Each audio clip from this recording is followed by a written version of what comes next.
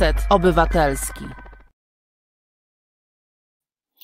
Dobry wieczór Państwu. Rozmowy na koniec tygodnia. Reset Obywatelski. Marcin Celiński. Kłaniam się nisko, a dziś 23 e, maja i nasze kolejne niedzielne spotkanie. Producentem naszego programu jest pan Waldemar Wysokiński. Bardzo dziękujemy i oczywiście zachęcamy do naśladowania e, pana Waldemara. Sami wiecie jak. Program nasz e, realizuje niezawodny Krzysztof Feles. I, on jest niezastępowalny w tej, w tej funkcji zupełnie. Nawet nie próbujcie e, nawet nie próbujcie go mm, w jakikolwiek sposób wchodzić w konkurencję. No a dzisiaj, proszę Państwa, będziemy mówili o, e, no, o naszym sąsiedzie, który do tej pory tak był w cieniu E, Niemiec, bo to Niemcy mieli być tym głównym wrogiem. Raptem okazuje się, że e, Czesi są tak samo, że to tacy sami źli jak, e, jak Niemcy.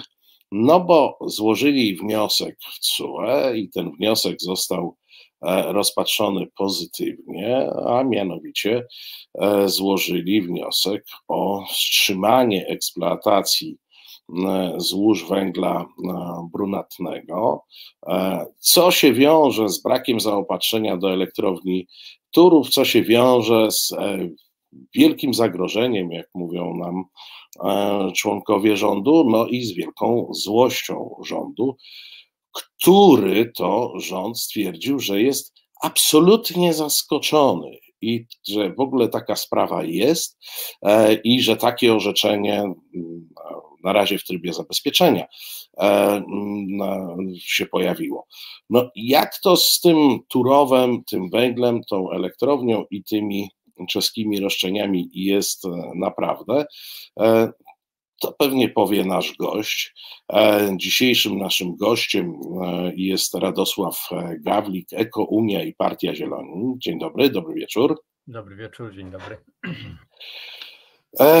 No to jak to jest? E, poza tym, że jesteśmy oczywiście obrażeni na Czechów, e, no bo tak jakoś teraz mamy, że my się obrażamy na wszystkich, e, to czy faktycznie powinniśmy być zaskoczeni tą decyzją CUE i, i decyzją o takim brzmieniu, czyli o wstrzymaniu eksploatowania tych złóż? No w momencie, kiedy sprawa w lutym, czy na początku marca, już w tej chwili nie, nie, pamiętam dokładnie, ale chyba w lutym jeszcze, została oddana do um, Trybunału Sprawiedliwości przez rząd czeski, czeski przeciwko rządowi polskiemu. Zresztą po takiej wizycie ostatniej szansy ministra spraw zagranicznych, który no, tu przyjechał. Nie, nie bardzo... To był minister, czeski minister spraw Czeski minister, tak, tak, tak. Czeski minister przyjechał, tak, chciał, spotkał się chyba z ministrem środowiska, z ministrem spraw zagranicznych, chciał relacje polskie były takie nijakie właściwie. Myśmy po czesku czytali, że, że no on przyjechał, żeby się e, dogadać, prawda? I, I, powiedział, że jeśli nie będzie porozumienia w sprawie Turowa, to oni idą, czy zachował się, można powiedzieć, bardzo jakby tak grzecznie i lojalnie. Zresztą to, to było kolejne ostrzeżenie, to nie był początek jakby. Sprawa się zaczęła jakieś dobre dwa lata temu, a może i nawet wcześniej, e, a może i nawet na, na dobre się zaczęła dwa lata temu to zaraz może do historii jeszcze dojdę, ale jakby skończę ten wątek. No ten minister właśnie to wyczytałem, że no wobec tego, że ze strony polskiej nie, nie usłyszał żadnej jakby takiej, no strona polska była twarda tutaj, to oni zapowiedzieli, że składają sprawę do Europejskiego Trybunału Sprawiedliwości, czy tak, TSUE, y, czyli Trybunału Sprawiedliwości Unii Europejskiej, tak się to teraz nazywa precyzyjnie. No i wówczas no, rząd polski powinien się liczyć, że mogą być różne wyroki tego.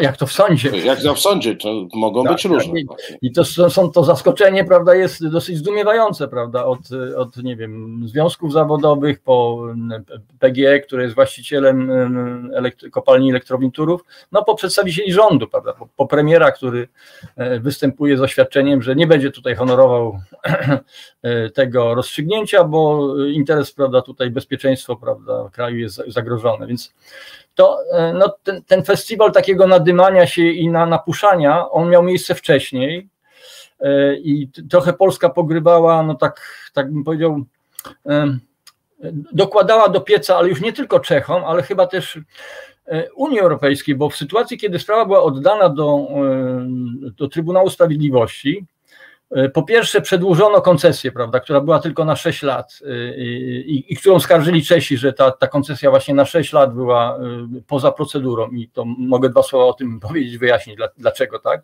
Ona była rzeczywiście poza procedurą europejską. Ona była w ramach polskiego prawa, które zezwalało ministrowi na przedłużenie koncesji o, o 6 lat raz, prawda, i, i, to, i to zrobiono, wykorzystano tą, ten, ten myk prawny, ale kompletnie nie było tutaj ani raportu oddziaływania na środowisko, ani negocjacji, pokazania jakby rozmowy z Czechami czy Niemcami, które dotyczyły innej, innej procedury, więc to, e, to, to już między innymi komisja też uznała, prawda? Czyli e, jak Czesi, e, zanim, zanim poszli do sądu, to zgłosili do komisji, że jest naruszenie dyrektyw unijnych.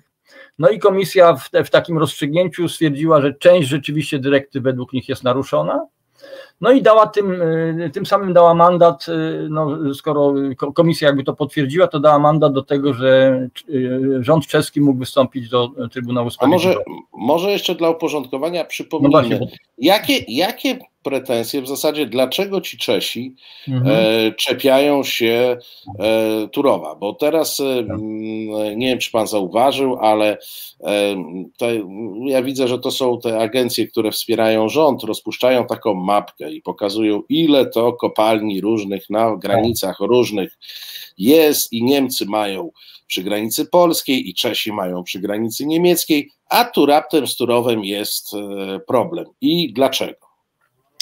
No, e, taka podstawowa kwestia, która wychodzi no, od dwóch lat co najmniej, prawda, bo to, bo to się zaczynało od dołu, że tak powiem, od y, mieszkańców tego tak zwanego libereckiego kraja, czyli, czyli no, można powiedzieć województwa liber, libereckiego, ale tych mieszkańców przygranicznych, czyli z Hradka nad Nisą, tutaj z Uchelnej, gdzie, gdzie, gdzie, są, mm, mm, y, gdzie są ujęcia wody pitnej po czeskiej stronie. I ta Uchelna jest właśnie na granicy.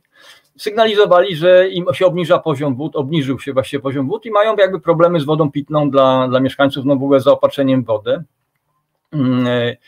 E, przyjeżdżali tutaj i premierzy, i wicepremierzy, i ministrowie środowiska rozmawiali o tym.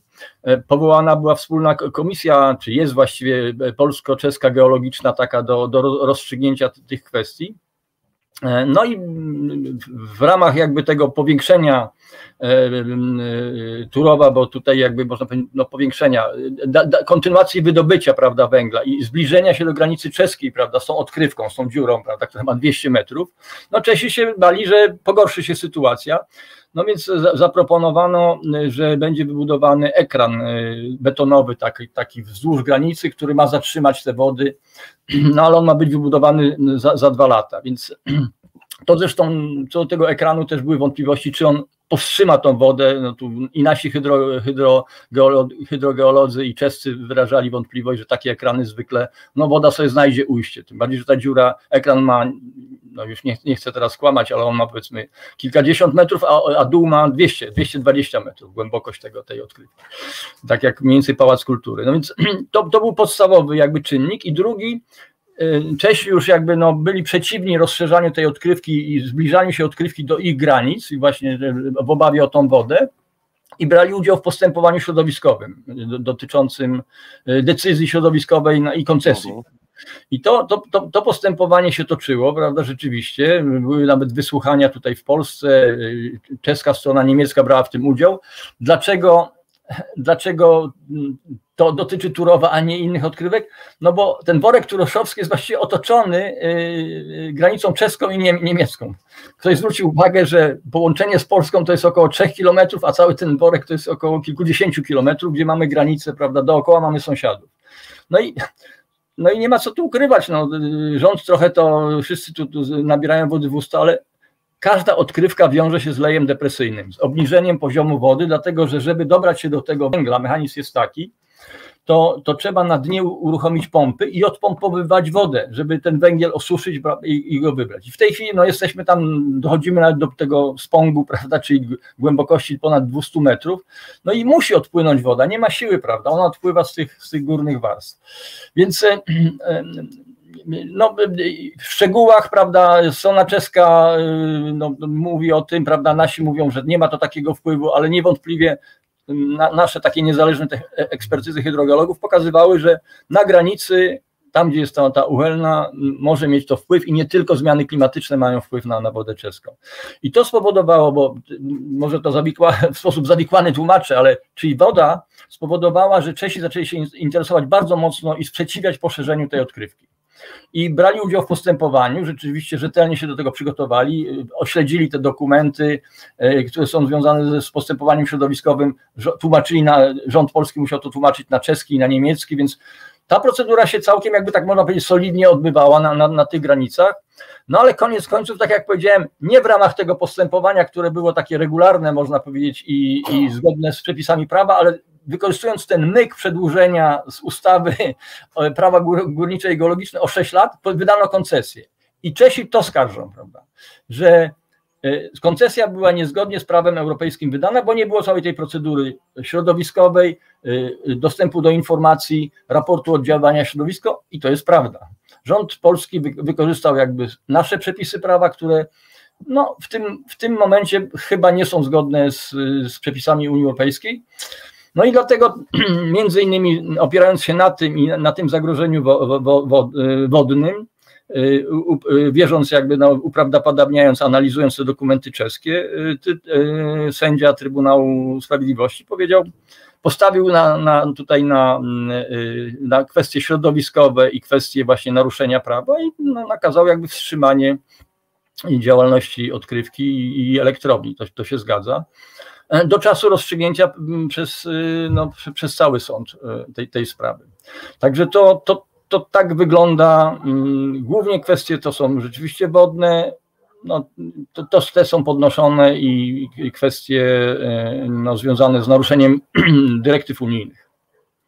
E, ja gdzieś e, przeczytałem, że po drodze Czesi e, przedstawiali bardzo konkretne propozycje związane poza tym, o czym Pan mówi, tym, tym jakimś betonowym murem. Tak, tak, tak. tak, tak, tak. To oni jeszcze, oni jeszcze tam mówili o jakiejś kwestii budowy po ich stronie nowych ujęć wody, głębszych i tak dalej, które miało, miałoby sfinansować strona polska, czy raczej PGE chyba jako właściciel mhm. tej kopalni. I rozumiem, to wszystko po drodze było odrzucone, bądź po prostu zbytem milczeniem. Tak? Te rozmowy na ten temat mhm. nikt z naszej strony nie podjął. No, tak, tak wygląda i tak było, tak było, bo Czesi pewnie byli gotowi tak, żeby jakoś zrekompensować, albo była rozważane, prawda, dostarczenie rurociągiem wody do, do, do tych miejscowości pokrycie kosztów, być może nawet dostarczenie wody z polskiej strony, bo, bo, bo przecież sobie powiedzmy szczerze, te, y, po polskiej stronie, mało kto to na to zwraca uwagę, większość miejscowości, czy wszystkie miejscowości, właściwie ponieważ się obniżył poziom wody, one nie mają wody ze studni tutaj miejscowych, tylko mhm. mają z zewnątrz jakby przy dostarczane rurociągami wodę i to, to sfinansowało wcześniej jakby no, kopalnia elektrownia Turów jeszcze pewnie zanim w ogóle została przypisane do PGE. Kiedyś to był samodzielny byt i on, on musiał w ramach rekompensaty dla obywateli polskich dostarczyć tą wodę, zapewnić dostarczenie wody. Więc to, to nie byłoby takie jakby bardzo dziwne, że na przykład, no, no oczywiście przez granicę, tak jak pan redaktor tutaj mówi, dostarcza się tą wodę nie wiem, ja jestem trochę zdumiony. Nie było, wszystko na to wskazuje, że nie było woli, prawda, mm, e, tej rozmowy. Było przekonanie takie, że jak się bardzo tutaj napniemy i no, pokażemy, że tu ten, ten Turów jest niezbędny, prawda, dla funkcjonowania naszego systemu, no to, to, to nic nam nie zrobią. I nie wiem, może rzeczywiście 10 czy jeszcze 20 lat temu tak by było, bo uznano by, że te względy gospodarcze są, no, są są ważniejsze, prawda, nie? Bezpieczeństwo energetyczne i tak dalej. Ale e, e, sędzia przeanalizowała to i w, w, części uzasadnienia napisała, że przeanalizowano jakby nawet ten, e, ten aspekt takiej niezbędności funkcjonowania, ale że rząd polski nie uprawdopodobnił tego, że, że, ten, że, te, że ta elektrownia jest w systemie niezbędna. E, I co, tak, no tak, tak, tak, taki jest, tak jest ta sentencja tego, tego, tego orzeczenia, to można wyczytać. To pytanie, pytanie od e, naszej słuchaczki z czatu, to proszę wytłumaczyć, czemu ma być zamknięta również elektrownia? Kopalnia ma wpływ na mhm, poziom tak. wody, a elektrownia?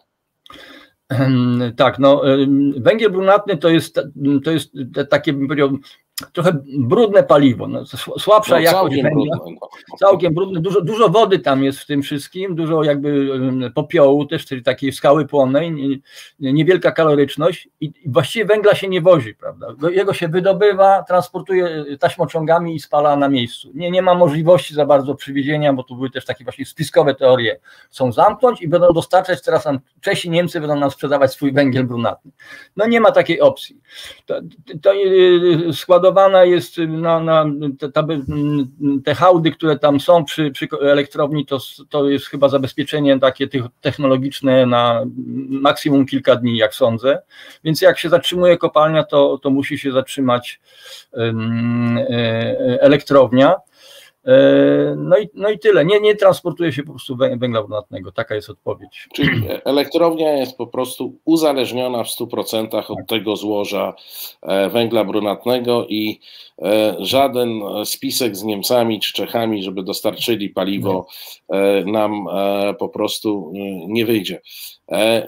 Rząd krzyczy, że właśnie Trybunał chce e, naruszyć mhm. zasady bezpieczeństwa energetycznego Polski. Tam e, jest mowa o tym, że e, elektrownia ta zapewnia tam 8-9% tak, tak.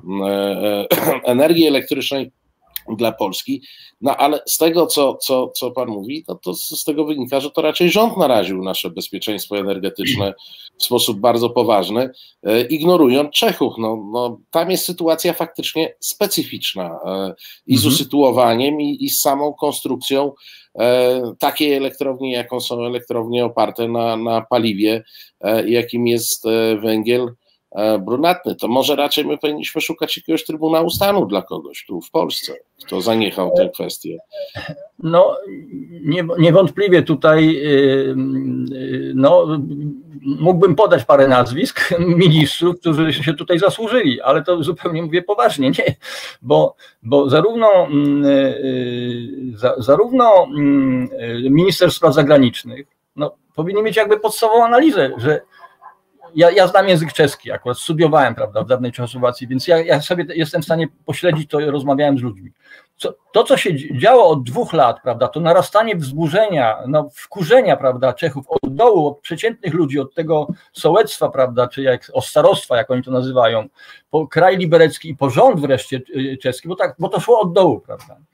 Y, to, to było coś w ogóle niespotykanego, prawda, więc tam politycznie to się stało nie było innego wyjścia. Oni, oni może nawet nie chcieli ci ministrowie skarżyć Polski, bo żeby nie, nie, ale była taka presja społeczna i jest taka presja społeczna. I teraz wyjść z tego będzie e, bardzo trudno, ale to jeszcze do tego Trybunału Stanu. Czyli zawalił minister spraw zagranicznych, zawaliło rozpoznanie tego, jaka jest sytuacja, bo on powinien powiedzieć, słuchajcie, musimy się dogadać, bo to, to nie wiadomo, jak się to skończy.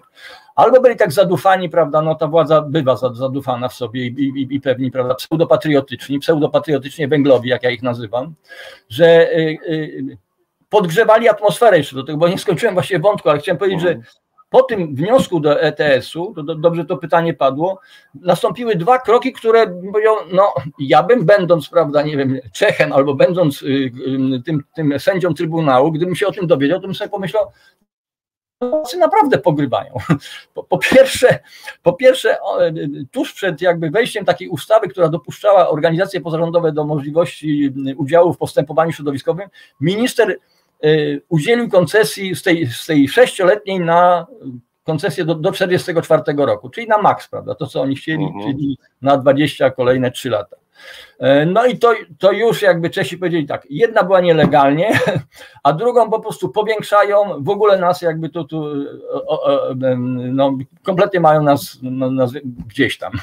Mhm. To jest jedna rzecz. I druga rzecz, akurat to pewnie no, nie, nie zależało od rządu, no ale tak wyszło, prawda. Otworzono nowy wielki blok, prawda, węglowy, który wydano, na który wydano ponad 4 miliardy złotych, na 460 megawatów, nowoczesny blok, prawda, który, przed którym myśmy przestrzegali, że żeby go nie budować, bo mogą być koszty osierocone, bo będzie trzeba go wcześniej zamknąć, jak, podobnie jak w przypadku Ostrołęki, czy, czy, czy, czy no tak dokładnie, Ostrołęka jest takim przykładem. No więc od, odpalono ten blok, czyli no pokazano, że właściwie pff, my mamy, my, my swoje, prawda, chcemy kopać, yy, spalać ten węgiel. No i to, i, i to myślę, że mogło roz, ro, dodatkowo rozsierdzić i rozsierdziło, prawda, na, naszych sąsiadów z Czech i, i prawdopodobnie też wpłynęło na, na, na, ten, na, to, na to zabezpieczenie ze strony Trybunału Sprawiedliwości. Ale panie redaktorze, pan powiedział, powtórzył pan niestety to, co powtarzają nawet media opozycyjne, że tak powiem, 7-8%. Udało się im wprasować w głowę, że to jest strasznie wielka elektrownia, która ma, która ma tak, tak, tak duży wpływ na, na, na, na, na system energetyczny Polski. Nie, niech pan pozwoli, że ja to sprostuję. No właśnie. To, bo, to jest, bo to jest bardzo zręczne. Ja to staram się wszędzie prostować, ale się nie przebijamy z tym. 8% to byłoby, gdyby ta elektrownia już po, powiększona o ten nowy blok, prawda, czyli mająca 2000 MW, pracowała 24 godziny na dobę, na dobę przez cały rok. Czyli i, produkowała prąd przez 24 godziny. Na, na czyli ta, to jest potencjalna moc właśnie nierealizowalna technicznie. Zresztą chyba żadna elektrownia węglowa w Polsce w tej żadna, chwili nie żadna, pracuje na, na nawet, moc. Nawet atomowe, nawet atomowe elektrownie też muszą zwolnić, prawda, czasem wyłączyć jakiś blok do remontu i tak dalej. Nie, ale, ale my mamy bardzo precyzyjne dane, bo po, poprosiliśmy e, no, doktora Bocka wymienię, prawda, który zrobił mi analizę całą e, Jaki jest, jaki jest, jaka jest produkcja prądu z tej elektrowni w skali kraju. I to nie jest 8%, to jest około 3%. To było w roku 17 to było 4%, w 19 było dokładnie 3%, w ubiegłym roku było 3,17%, 3,17% zapotrzebowania Polski, czyli ta elektrownia pokrywa około 3% zapotrzebowania Polski i trend jest spadający. Procent wykorzystania mocy był, yy, był 50%, w tej chwili jest około 40%. Przeciętny procent, czyli, -huh. czyli jak mamy e, tą moc, nie wiem, 2000 MW, wykorzystujemy 4, 40%, no to jest gdzieś tam 800 MW mocy jest wykorzystywane. To jest, to jest pierwszy element. Drugi element, no wchodzą odnawialne źródła, bardzo dynamicznie, prawda, słoneczne źródła, które, ale też no wiatrowe, prawda, jeszcze nie, bo, bo wpis to zablokował, ale e, no, powiem o tych liczbach, bo one są jakby można powiedzieć mało kto, kto o tym mówi, prawda, napinając się na ten węgiel, nie wiemy o tym, że wiatr w 2020 roku, nawet mam to wynotowane, dostarczył 10% e, energii w Polsce, czyli trzy razy więcej niż, niż ten Turów. E, słońce dostarczyło 2, 2 terawatogodziny, czyli 1% energii, a e, no, dynamicznie bardzo przyrastają te moce słoneczne nawet e, na dachach domów, ale też ja większe. W mikroinstalacjach, tak, bez... Tak, tak. I to jest, to jest, to jest boom, prawda? Więc i, I, uwaga, i te źródła, bo to jedno to jest ta moc, no pokazuje relatywnie, że ten Turów wcale nie jest taki aż wielki i taki decydujący, jak tutaj się tam napyszniamy, prawda? Ale drugie, że, że, że ta moc odnawialnych źródeł energii, takie jest prawo, unijne i nasze też, wchodzi jako pierwsza. Czyli jak my mamy słońce, wieje wiatr, a teraz mamy akurat taki, taką, to właściwie Turów nie ma co robić, on pracuje tylko na siebie, prawda? Czyli produkuje prąd, to zawraca, prawda, w tam taki e, rozdzieli Mikułowa i zasila siebie. I to podobno całkiem sporo zużywa, żeby, żeby siebie zasilić. E, no to, to powiedziawszy, no e, chcę powiedzieć tak, że ja nie zdążyłem, bo próbowałem zadzwonić do, do, do, do, do, do jednego z doktorów, który się zna na energetyce, na węglu brunatnym, czy można zatrzymać taką elektrownię, bo, bo, bo wczoraj, powiem szczerze, w Polsacie na mnie naskoczyli, bo ja powiedziałem, że powinniśmy się zastosować do tego. No, mamy taki wyrok, no, nie, ja się nie zgadzam, pan redaktor pewnie też nie, żebyśmy my płacili teraz, y, produkowali węgiel albo nie produkowali, bo jak mówię, jak wchodzą odnawialne źródła energii, to nie produkujemy i płacili na przykład po 100 tysięcy euro kary, prawda, dlatego, że Polska chce być taka urabura, prawda, bronić, bronić węgla i, i, i płacić kary, co, co nam grozi, prawda, w sytuacji niewykonania wyroku ETS-u, Podejrzewam, że Czesi natychmiast zgłoszą, żeby, żeby ukarać Polskę, albo komisja sama, prawda, może zawnioskować i będziemy bulić. No i będziemy mieli najdroższy węgiel, który będzie jeszcze, prawda, jeszcze droższy. No, no, no, no, no, no, no tyle. Czy ja, ja sprawdzam w tej chwili od strony technicznej, a wskoczono na mnie, że nie można zatrzymać takiej elektrowni, że to jest katastrofa w ogóle i moja intuicja jest taka, którą jeszcze zweryfikuję, że o, oczywiście, że można, prawdopodobnie, żeby nie nastąpiło zalanie, bo ja mówiłem tutaj, mówiliśmy o tym, że pompuje się tą wodę, no to trzeba zostawić ileś pomp i być może jakiś jeden blok, prawda, czy coś zostawia się, żeby on pompował, żeby rzeczywiście nie nastąpiły szkody, ale można wyhamować tą elektrownię, że ona będzie pracowała tylko na, na, na, na zabezpieczenie, prawda, więc to, to jest moja intuicja, ale jeszcze to zweryfikuję. No, wydaje mi się właśnie to pewne, bo co to znaczy, że nie można zatrzymać? To nie jest perpetuum mobile. Odpaliliśmy i ma, to, i ma jechać i, no, tak, do, do ziemię. Tak? tak. Więc, e, ale wczoraj to wszyscy tutaj, prawda, pani wiceminister, ta szefowa tego całego PGE, która się zajmuje tym, pani Trzmiel, pani wiceminister była z PiSu i nawet Janusz Steinhoff, mój kolega jeszcze z z OKP, Obywatelskiego Klubu Solidarności, wicepremier, który się też na tym zna, też stwierdzili, że nie da się bez szkód tego zatrzymać. No, moim zdaniem, nie mówi nikt, to natychmiast, bo sąd powiedział, sąd powiedział natychmiast, no ale to natychmiast oczywiście oznacza rozsądny natychmiast, czyli się trzeba przygotować do tego procesu i odstawić te bloki po kolei, prawda, zabezpieczając inne źródła, do, bo skoro to jest 3%, no to panie redaktorze, to damy radę, no. to nie jest tak, że... Szczególnie, to... że jesteśmy w tej chwili w sezonie e, faktycznie, kiedy mamy dużo większy, e, e, dużo większy przypływ energii z źródeł odnawialnych, bo i wieje, i, i, i słońce świeci, plus to, że no przed momentem mieliśmy E, próbę związaną z awarią bloków w Bełchatowie. E, I Bełchatów to jest już faktycznie duży udział w tym e, naszym, naszym rynku energetycznym i mhm. potrzebach energetycznych. I dało się mimo tej awarii, dzięki zakupom energii na zewnątrz, no, nie mieliśmy blackoutu.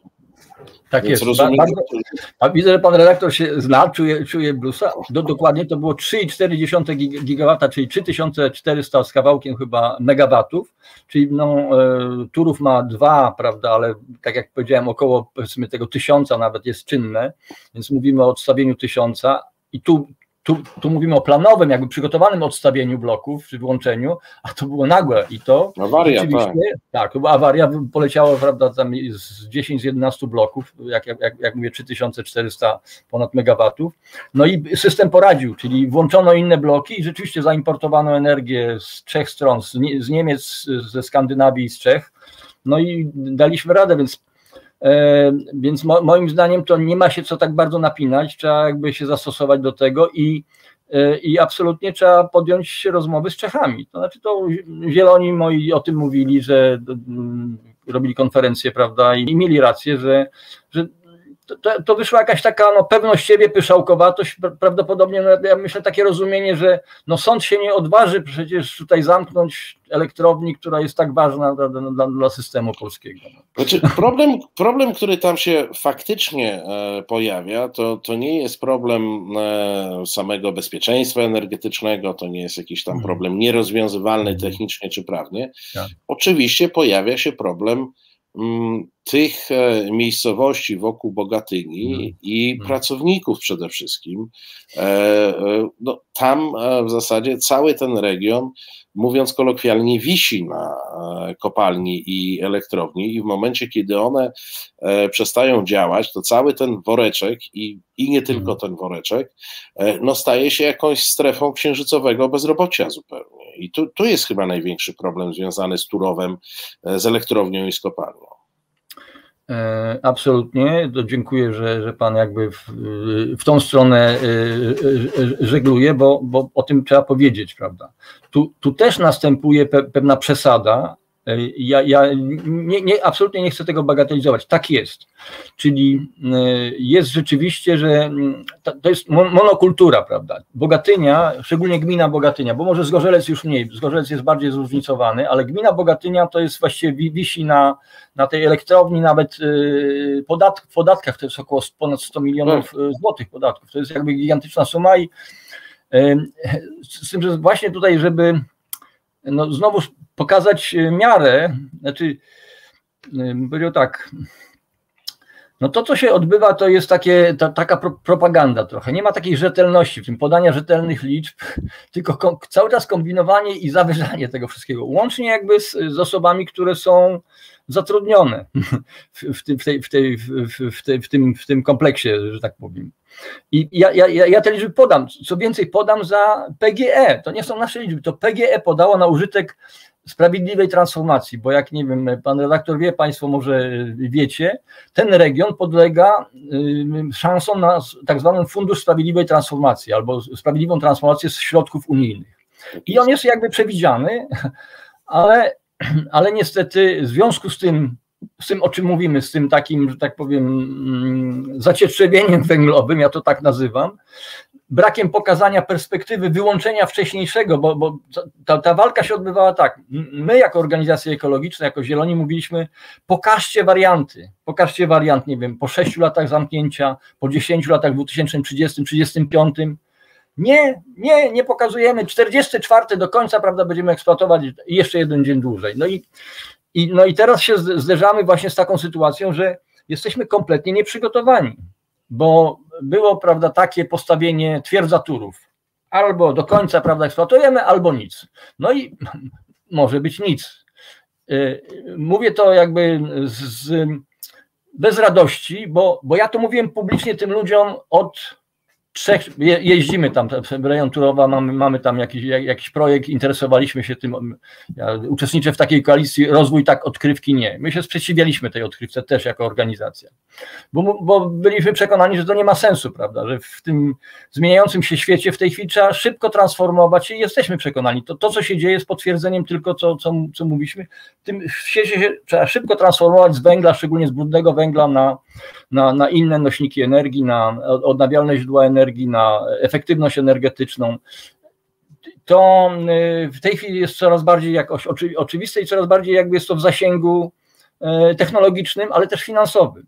I otóż odpuszczono sobie te fundusze unijne, no poprzez to, że y, rząd tutaj i tam na, na dole związki zawodowe i PG nie chciało jakby przedstawić tego, tego planu wcześniejszego choćby wariantowego na początek, czyli nie, nie rozrobiło żadnego ukłonu w kierunku Unii Europejskiej i koło nosa przechodzi 1,2 miliarda złotych, prawda, które mogły iść na ten region pójść, na budowanie dla tych właśnie, nie wiem, zaraz powiem ilu, ludzi, prawda, alternatywnych miejsc pracy, prawda, czyli jakiś scenariusz odchodzenia od, od, od węgla i budowania od, odnawialnych źródeł energii, tym bardziej, że tam projekty są, prawda, na, na dole oparcia się na przykład, no to, na co zwracam uwagę, że tam ta kultura łużycka, zabytki kultury łużyckiej, domy przysłupowe, całkiem piękne Opolno Zdrój, były uzdrowisko Opel po niemieckie, y, no mogą przyciągnąć turystów, to, to, trzeba tam, tam można byłoby zainwestować jakby te środki w, właśnie w te walory, jakby można powiedzieć takie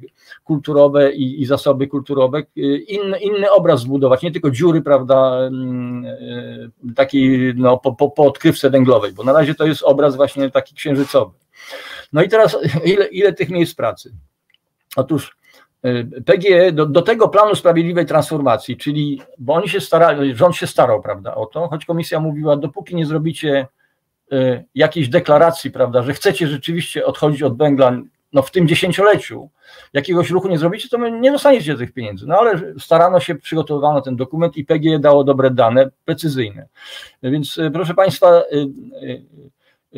kopalnia i elektrownia razem to jest 5,3 Y, tysiąca ludzi, łącznie z kooperantami.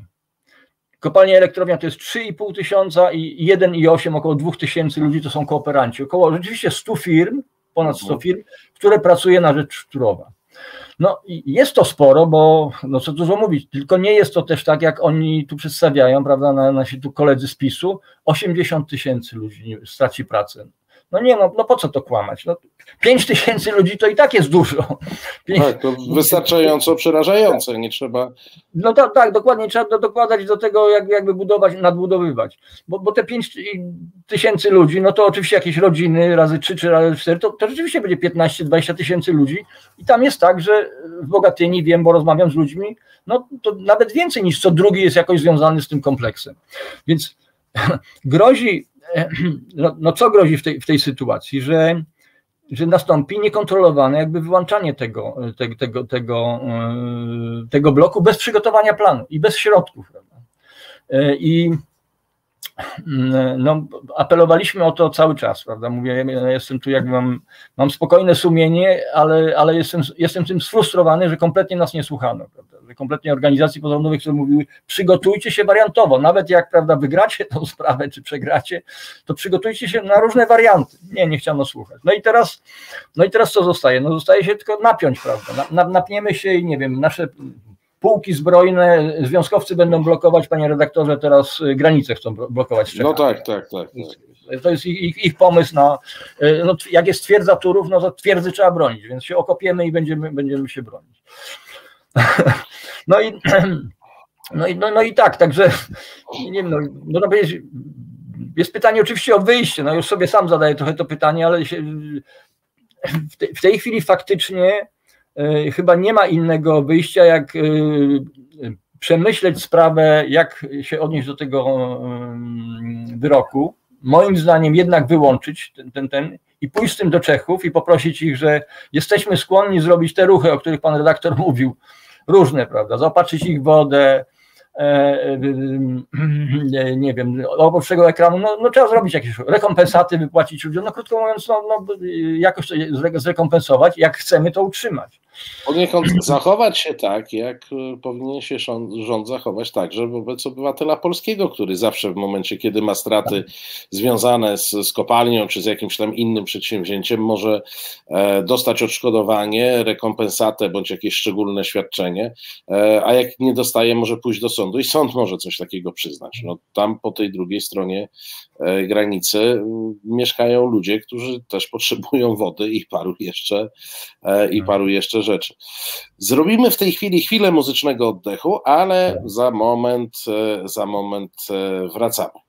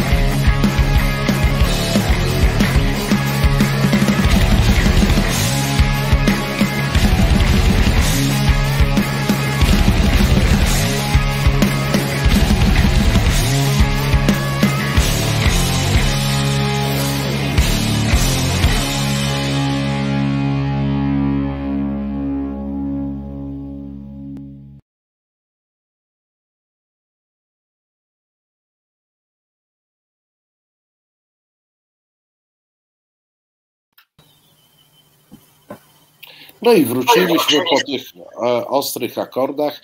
E, frontal cortex wybrzmiał. E, to są rozmowy na koniec tygodnia. Marcin Celiński, Reset Obywatelski. Nadal nas realizuje Krzysztof i producentem tego programu jest Waldemar Wysokiński, który widziałem, że pojawił się na czacie, w związku z czym jeszcze raz pozdrawiamy i dziękujemy. A naszym gościem nadal jest pan Radosław Gawlik, były poseł, były wiceminister to chyba wtedy się nazywało ochrony środowiska, nie? Jeszcze nie środowiska. Ochrony środowiska, zasobów naturalnych i leśnictwa. O właśnie, tak się nazywało to e, ministerstwo. Partia Zielonych i Ekounia. Mm, rozmawialiśmy o Turowie. E, myślę, że wiele e, dziwnych wieści, jakie dostawaliśmy na temat Turowa, to już żeśmy sprostowali. Mm, no to może przejdźmy do tematu bardziej mm, ogólnego. Trochę nam się ta, ta energia węglowa ostatnio przypomniała, także za sprawą e, najpierw awarii bloków, a potem pożarów w e, Bełchatowie e, i przypomniało się nasze uzależnienie od brudnych źródeł energii. No ale czeka nas nowy ład i w tym nowym ładzie, i owszem, jest trochę ogólników, bez konkretów, ale jest wspomniane, że w nowym ładzie będzie jakaś energia odnawialna, pewnie będzie jakaś fotowoltaika, ale mhm. jest tam taki punkt, który mnie zafrapował, a mianowicie mhm gazyfikacja terenów słabo zurbanizowanych gmin i powiatów. E, ma to polegać na początek, e, ma to być gazyfikacja wyspowa, mają być zbiorniki gazu skroplonego i sieci lokalne, które potem mają być połączone e, w ogólnopolską sieć no, spięte z głównymi gazociągami. Zafrapowało mnie dlatego, że mam wrażenie, że Polska jednak e, jakoś tam mruga okiem, że jest w stanie zaakceptować cele e, klimatyczne. E, czy ten gaz jest jakimś rozwiązaniem dla Polski w, w perspektywie, no, Nowy Ład zakłada to perspektywę mniej więcej 15-20-letnią w tych takich swoich mhm. różnych postanowieniach taka gazyfikacja to, to są pewnie miliardy, tak? To są jakieś ciężkie miliardy złotych, euro pewnie też ciężkie miliardy. E, jaki to ma sens gazyfikować w tej chwili e, te tereny, które nie są zgazyfikowane? Nie ma żadnego, panie redaktorze, poza napchaniem kasy firmom, które to będą robiły. No to, to, już jest, to już jest poważny argument. Tak, to, tak, tak. I to w Polsce to jest ciągle, w ostatnich latach to jest poważne, a tu to jest tak jak z przekopem Mierzei e, e, Wiślanej, gdzie właściwie to nie ma żadnego sensu gospodarczego, ekologicznego, społecznego, no ale e, forsa płynie jak, jak nic, prawda, więc firmy może trzeba będzie się w ramach przed Trybunałem Stanu może się trzeba będzie przyjrzeć, jakie to firmy zarobiły Kto, kto za tymi firmami stał, prawda, przy przekopie. Ale wracając do, do gazu, to znaczy lobby gazowe e, jest e, chyba e, mocniejszym lobby niż lobby atomu. Tutaj mam koszulkę antyatomową, właśnie ją pokazuję, bo mamy, bo to, bo, bo w polityce energetycznej mamy dwa takie jakby to określić, to, żeby, żeby, nie, żeby nie przeklinać. Mamy dwa takie, profesor Popczyk na to mówi, błędy krytyczne, prawda? E, czyli zarówno przecenienie roli gazu, który jeszcze, można powiedzieć, 10 lat temu rzeczywiście był uważany za paliwo przejściowe, które między węglem a, a energiami odnawialnymi będzie, będzie prawdopodobnie będzie konieczne. W tej chwili już wiemy, że nie jest konieczne albo jest, jest potrzebne w dużo mniejszym zakresie niż, niż przewidywano, że spokojnie można, że tak powiem, z czarnego przechodzić na zielone, mówię w uproszczeniu, czyli z węgla e, przechodzić na, e, na odnawialne źródła, bo one są już dostępne, one tanieją, prawda? E, te rury, to wszystko, o czym pan redaktor powiedział, to są gigantyczne koszty. To są koszty w infrastrukturę, rozdzielnie, prawda, gazu, rurociągi, rozprowadzenie tego wszystkiego. E, no, e, kupę pieniędzy. Ja przypomnę, że Unia Europejska właściwie nie chciała dawać pieniędzy na, na infrastrukturę. Na początku taki, nie, dlaczego? No, no, mamy ochronę klimatu, prawda? Gaz to nie jest y, paliwo odnawialne.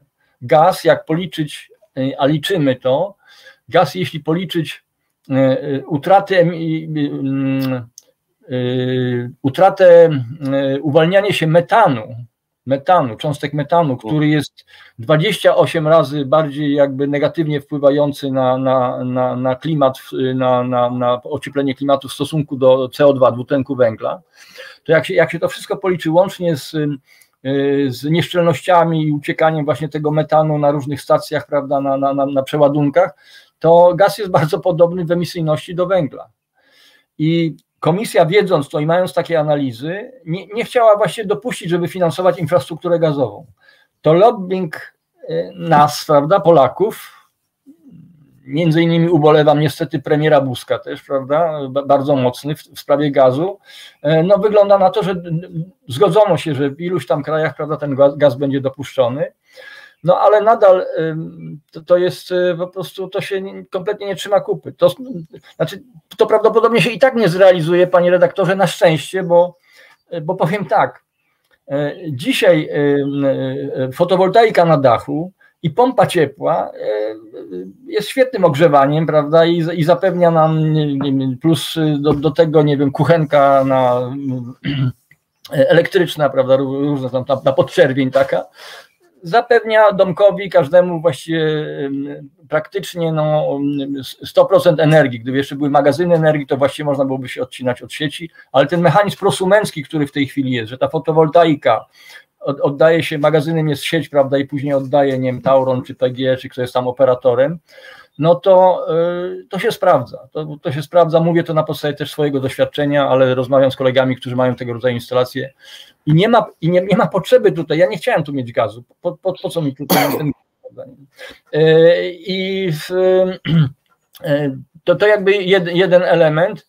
No drugi, jak już to o tym mówię, o tym atomie wspomniałem, no to to jest w ogóle do, dopiero kosmos też, że rząd się uparł, prawda, żeby budować elektrownie atomowe, kiedy właściwie cała Europa odchodzi od atomu. I tu ja e, poruszam taki jeden aspekt, którego się dowiedziałem niedawno, bo człowiek się cały czas uczy.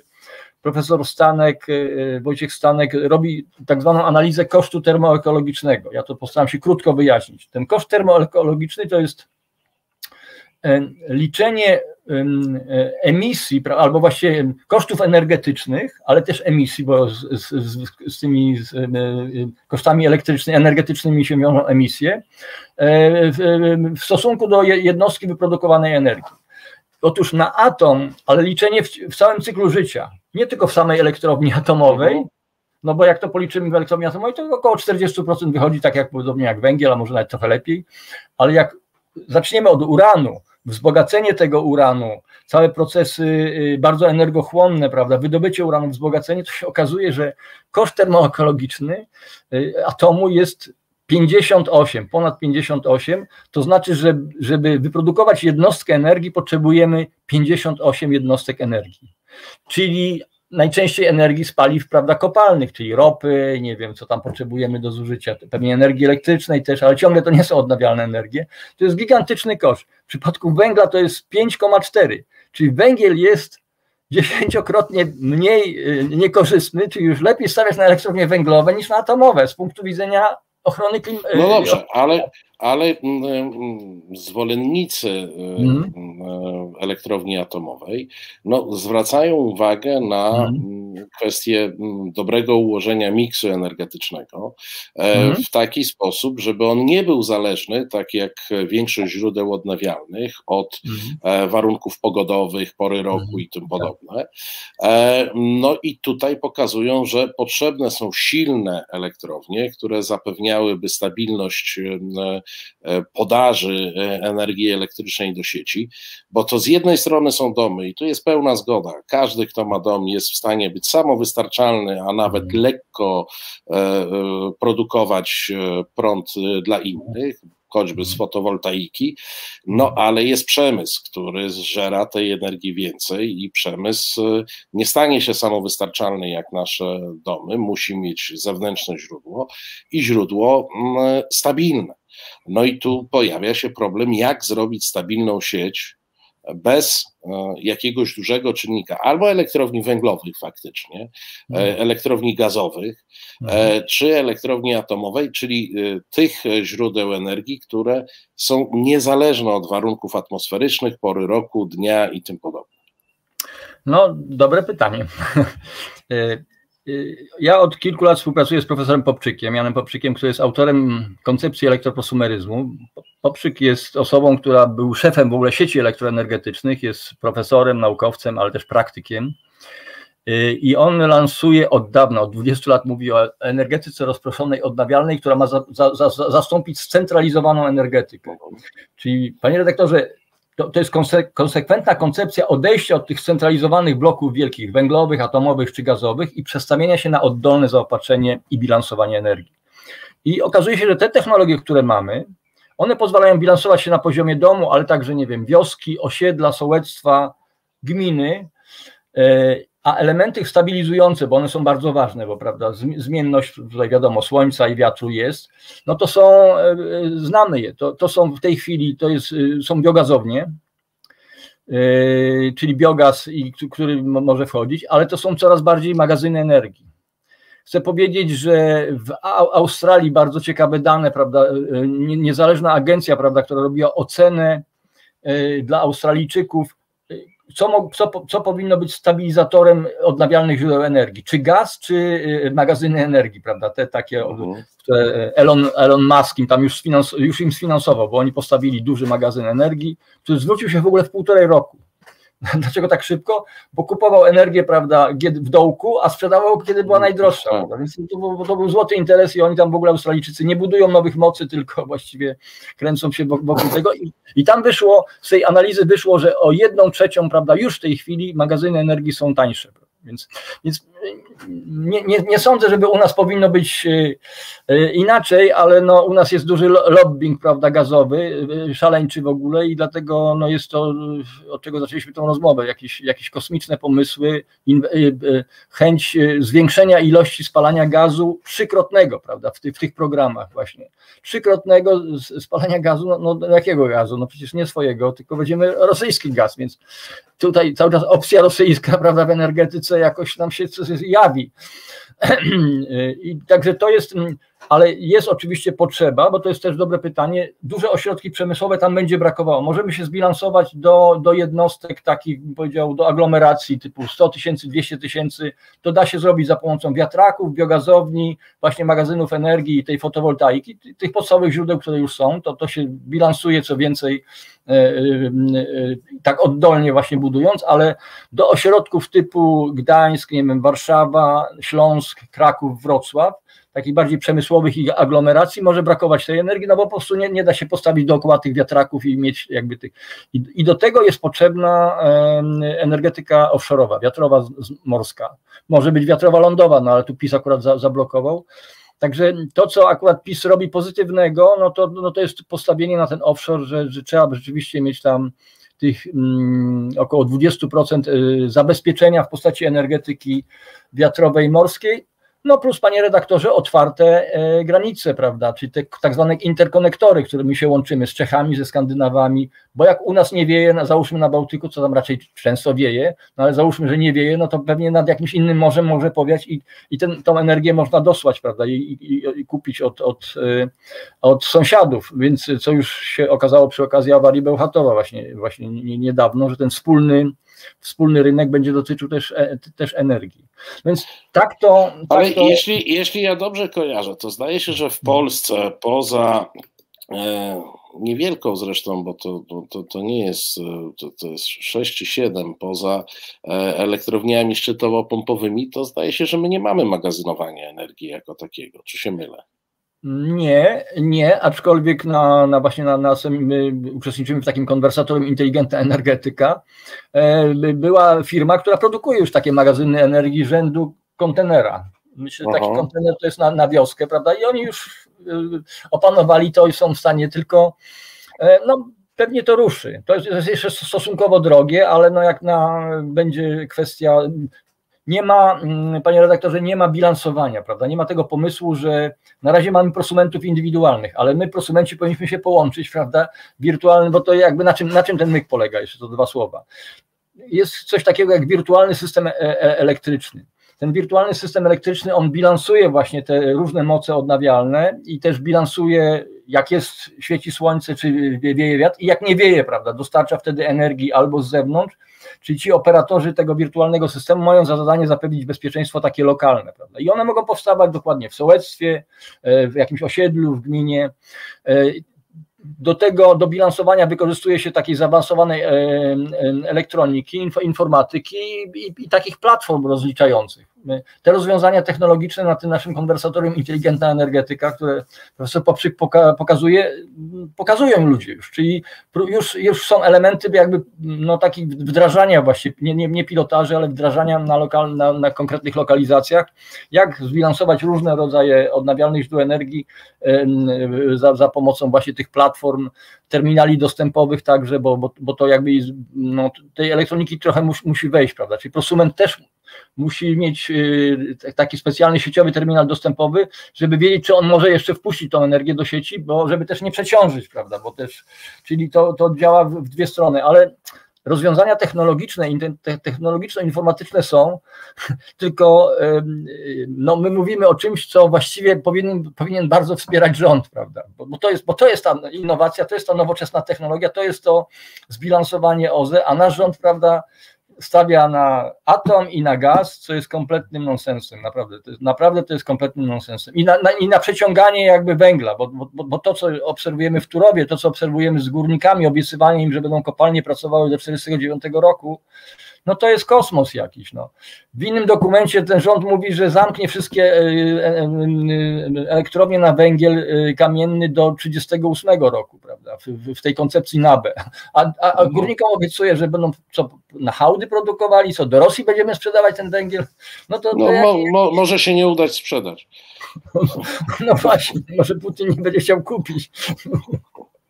No, znaczy, tu jednak ja nadal mam wątpliwość co do tego, bo to jest duża, e, e, duża inwestycja natury infrastrukturalnej, pójście w magazynowanie.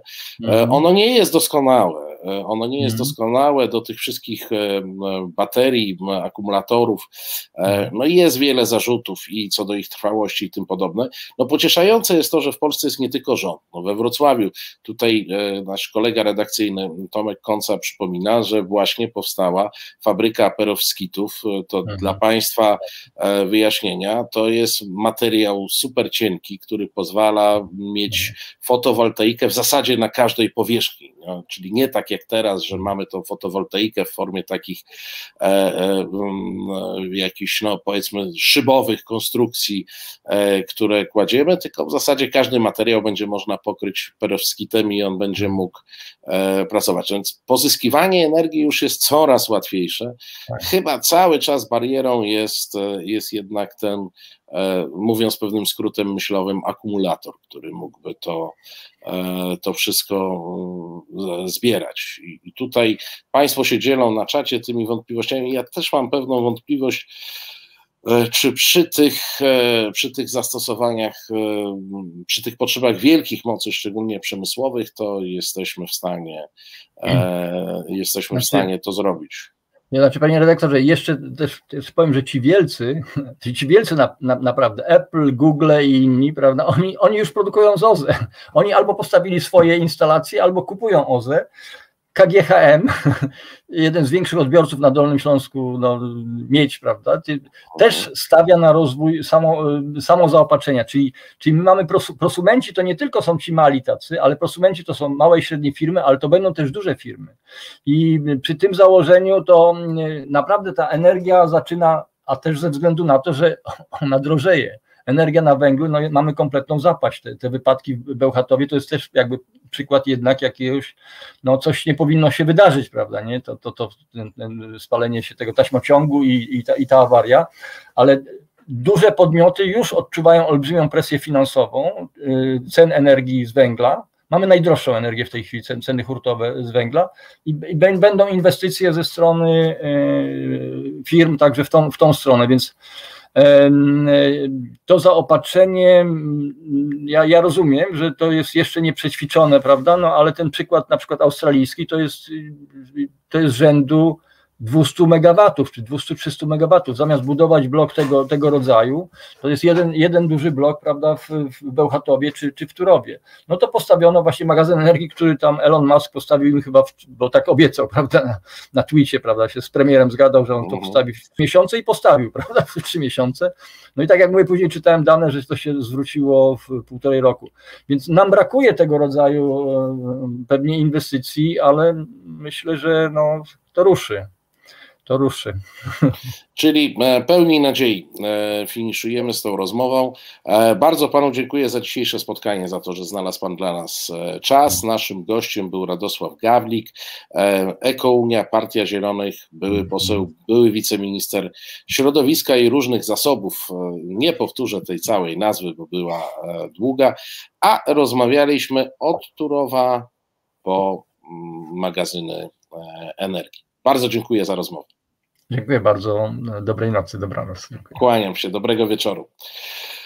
E, proszę Państwa, no to co? E, robimy w tej chwili e, chwilę muzycznego oddechu, ale zaraz potem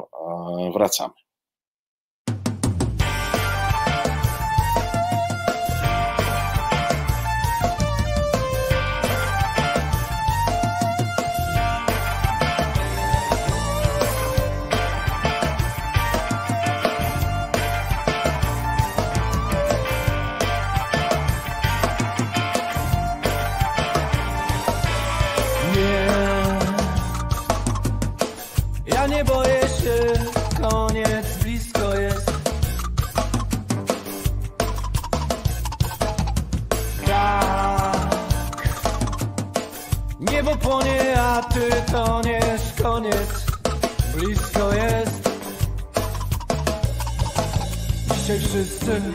Wierzymy w ciebie, dzisiaj nikt nie odważy się spojrzeć w przestrzeń, która chłonie nas i zapiera. Nie znamy świat.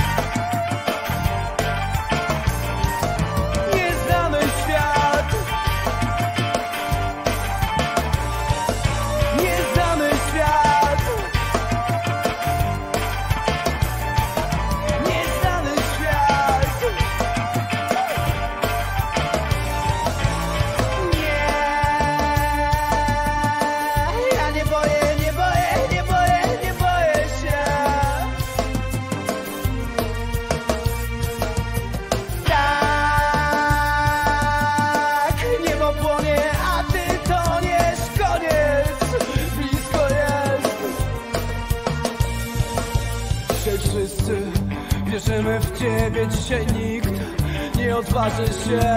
Spojrzeć w przestrzeń, która chłonie nas i zabiera. Nieznany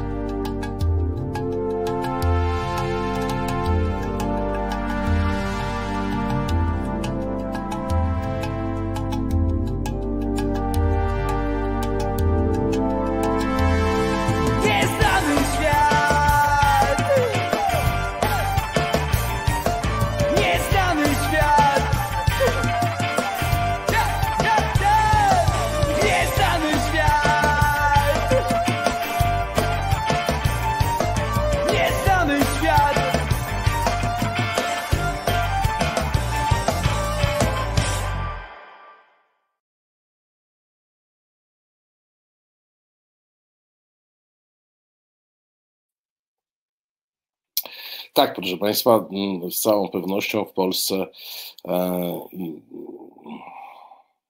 i szczególnie przy takich rządach wizja zasilania, wizja produkcji energetycznej ze źródeł odnawialnych, jak również odejścia od paliw brudnych, to jest jakiś nieznany świat, więc Krzysztof tu dobrze dobrał podkład muzyczny do tej rozmowy.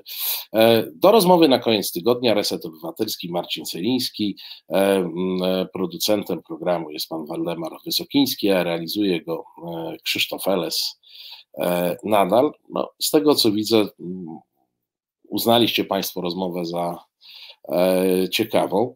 E, myślę, że taki dominujący problem to z jednej strony jest e, problem różnych lobby, które działają, o których Radosław Gawlik wspominał. Natomiast lobby mają prawo działać, tak? No, nie unikniemy tego. One będą bardziej bądź mniej e, e, formalne. E, natomiast myślę, że straszne jest to, że większość klasy politycznej dosyć bezrefleksyjnie daje się manipulować tym lobby. Jest rzecz istotna, o której w ogóle się nie mówi, że e, wszystkie e, brudne źródła energii, czy to węgiel, e, czy to ropa, czy to gaz, w dużej mierze pochodzą z importu. Pochodzą z importu z kierunku, co do którego wszystkie ekipy deklarowały, że chciałyby się uniezależnić, chciałyby się uniezależnić od rosyjskiej ropy, od, rosyjskiej, od rosyjskiego gazu. No, długo nie było mowy o tym, że trzeba się uniezależniać od rosyjskiego węgla, no ale jak wiadomo, teraz już jesteśmy, e, jesteśmy od e, tego rosyjskiego węgla e, uzależnieni. I energetyka odnawialna i tworzenie mm, tego naszego miksu e, energetycznego opartego na źródłach odnawialnych daje nam, e, daje nam niepodległość energetyczną, o której, proszę Państwa, rozmawiamy od 1989 roku i do której jakoś e, dojść nie możemy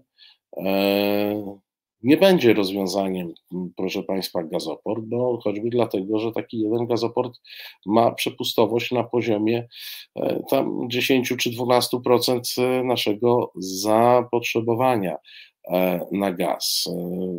Także trudno sobie wyobrazić dostarczenie takich ilości ropy tankowcami. A do tego wszystkiego, proszę Państwa, trwanie przy tych e, starych, e, przy tych starych źródłach energii jest e, no, trochę zawracania kijem Wisły. Boję się, że jak przyjdzie E, rok 2030 czy rok 2050, e, jeśli jeszcze będziemy w Unii Europejskiej, a rządzić będą jakieś ekipy pisowskie czy piso podobne, to oni się strasznie zdziwią, e, że powinni być niskoemisyjni bądź zeroemisyjni i strasznie obrażą na Unię Europejską, że chce zamykać kopalnie. Na przykład, czy chce zamykać elektrownie węglowe. Oni będą autentycznie zdziwieni, e, tak jak zdziwieni są w tej chwili e, wyrokiem e, Trybunału, Europejskiego Trybunału z Trybunału Sprawiedliwości Unii Europejskiej.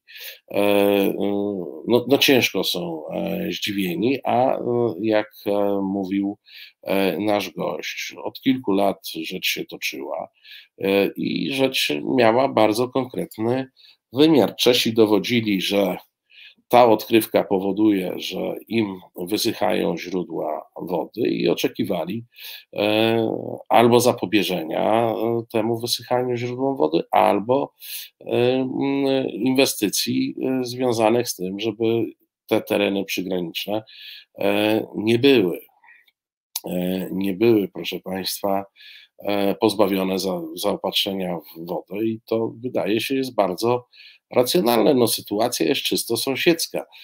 Owszem, na swojej działce mogę robić, co mi się podoba, no ale jeżeli dzięki temu sąsiad z działki obok nie ma wody, no to, to niestety coś muszę z tym fantem zrobić. Albo przestać e, działać na swojej działce w taki sposób, e, który jemu szkodzi, albo jemu tą szkodę zniwelować, zrekompensować, zadośćuczynić. E, wydaje się, że to są bardzo normalne zasady, które no, powinny być oczywiste dla każdego z nas. Jak widać, nie są oczywiste dla naszych miłościwie e, panujących. E, no i w tej chwili mamy wielką wojnę, wielki płacz. E, no, dobrze, że także nasz gość przytoczył parę liczb, no bo w ten sposób poniekąd wykonaliśmy robotę fact-checkingową i co do procentu, za jaki naszego rynku energetycznego i dostaw energii, za jaki jest odpowiedzialna elektrownia e, w Turowie, e, czyli nie 8 czy 9, tylko raczej 3, e, i że to nie jest 80 tysięcy osób, tylko 5 tysięcy czy 5300 osób. I tak naprawdę, proszę Państwa, jeśli chodzi o problem, który tam w Turowie, w Bogatyni jest, to jest problem z tym, że Mm, działający w sposób mm, bezrefleksyjny, bezmyślny, trzeba powiedzieć wprost, rząd, e, no, spowodował, że ci ludzie są e, zagrożeni realnie utratą pracy, utratą e, często jedynego źródła dochodu dla wielu rodzin.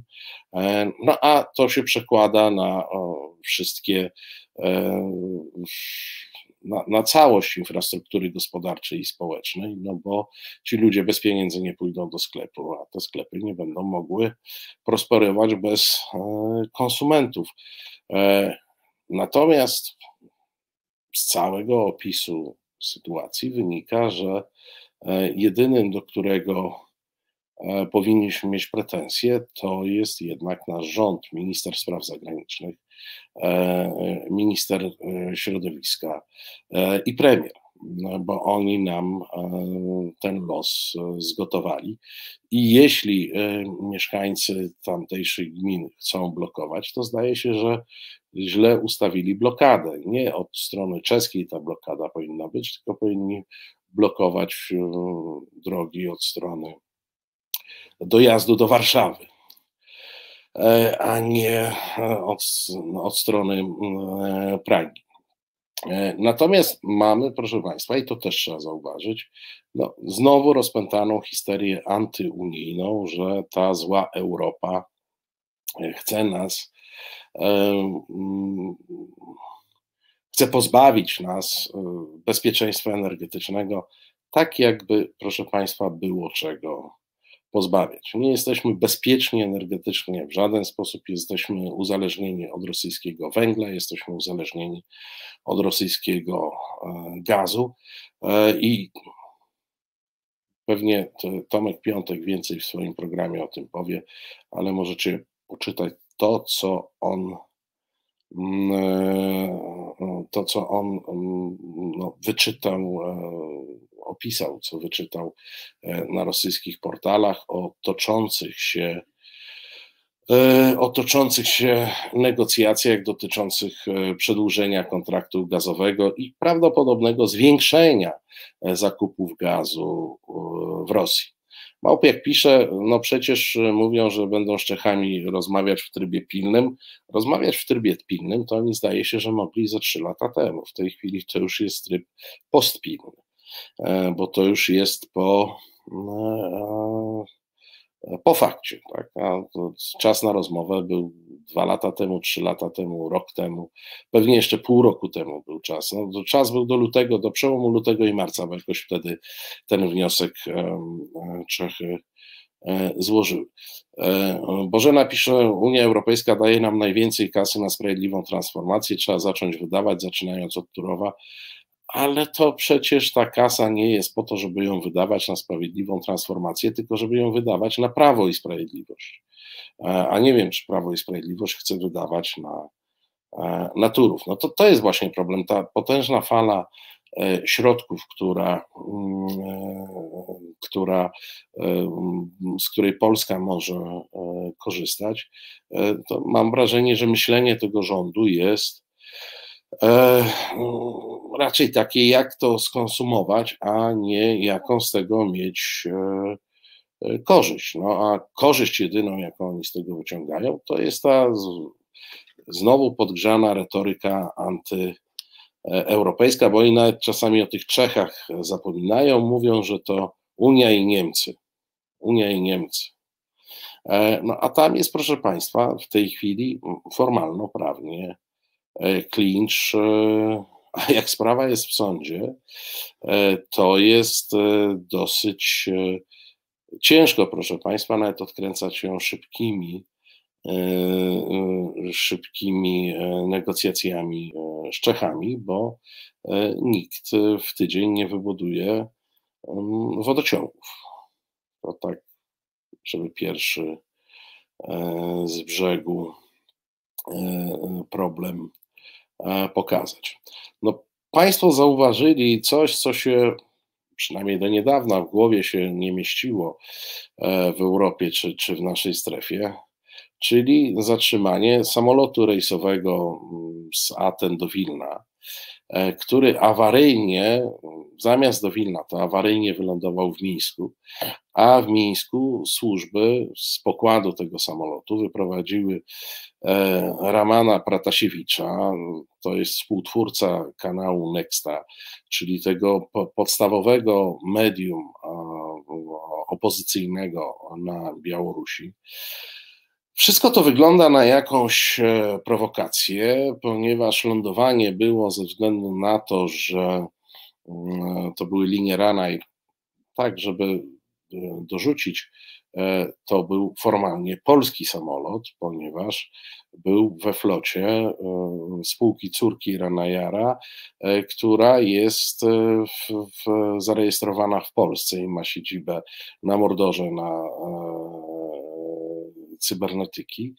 E, więc e, piloci dali sygnał, że mają, e, oni z kolei sygnał o bombie na pokładzie. Zastosowano wtedy standardowe procedury. Mm, samolot pasażerski był eskortowany przez myśliwce białoruskie, wylądował awaryjnie mm, w Mińsku, a jak się okazało, wylądował w Mińsku po to, żeby białoruskiego dziennikarza wyprowadzić. E, pan e, Pratasiewicz ma e, na Białorusi zarzuty terroryzmu i to jest zarzut, który w najlepszym przypadku kończy się wieloletnim więzieniem, w najgorszym jest zagrożony karą śmierci. Wiele wskazuje na to, że była to od początku do końca mm, operacja służb białoruskich, które wiedziały, że na pokładzie tego samolotu zatem do Wilna, który nie miał e, w ogóle e, lądować w Mińsku, tylko jego trasa przelotu była nad terytorium e, Białorusi, że jest Raman Pratasiewicz i mm, chodziło o to, żeby znaleźć pretekst do sprowadzenia tego samolotu e, na ziemię, e, a nawet w momencie, kiedy samolot jest sprowadzony na ziemię, to jest rzeczą niesłychaną, nawet zakładając, że to był zupełny przypadek, to jest rzeczą niesłychaną, że jeden z pasażerów zostaje wyprowadzany z tego e, samolotu. No, państwo piszą, że że tutaj Andrzej Sebastian 40 minut temu się wypowiedział, no to ja już e, nie byłem w mediach przed programem, przed 19. Ze strony polskiej nie było żadnych e, wypowiedzi na e, ten temat. Czytałem wypowiedzi litewskie, jak najbardziej od razu reakcję. Bożena pisze, ale podobno piloci zgłosili awarię. Na godzinę 19 z tego, co czytałem, z informacji, które wyczytywałem w polskich i nie tylko polskich źródłach, była mowa o zagrożeniu mm, o zagrożeniu bombą na pokładzie, czyli zamachem bombowym na ten samolot. Czy taki samolot nie ma statusu e, eksterytorialnego? Generalnie ma. Generalnie ma.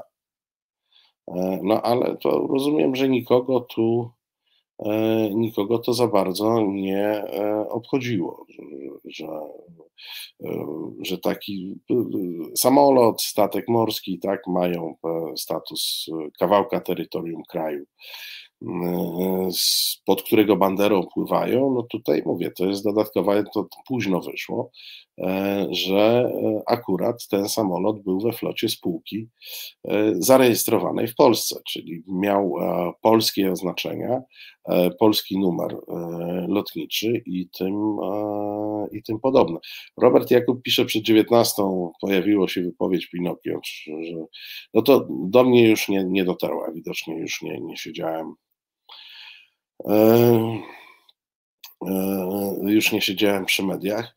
No jest to e, sytuacja skandaliczna, niespotykana i zdaje się, że znowu rozbijemy się o pewien mur beznadziei, bo,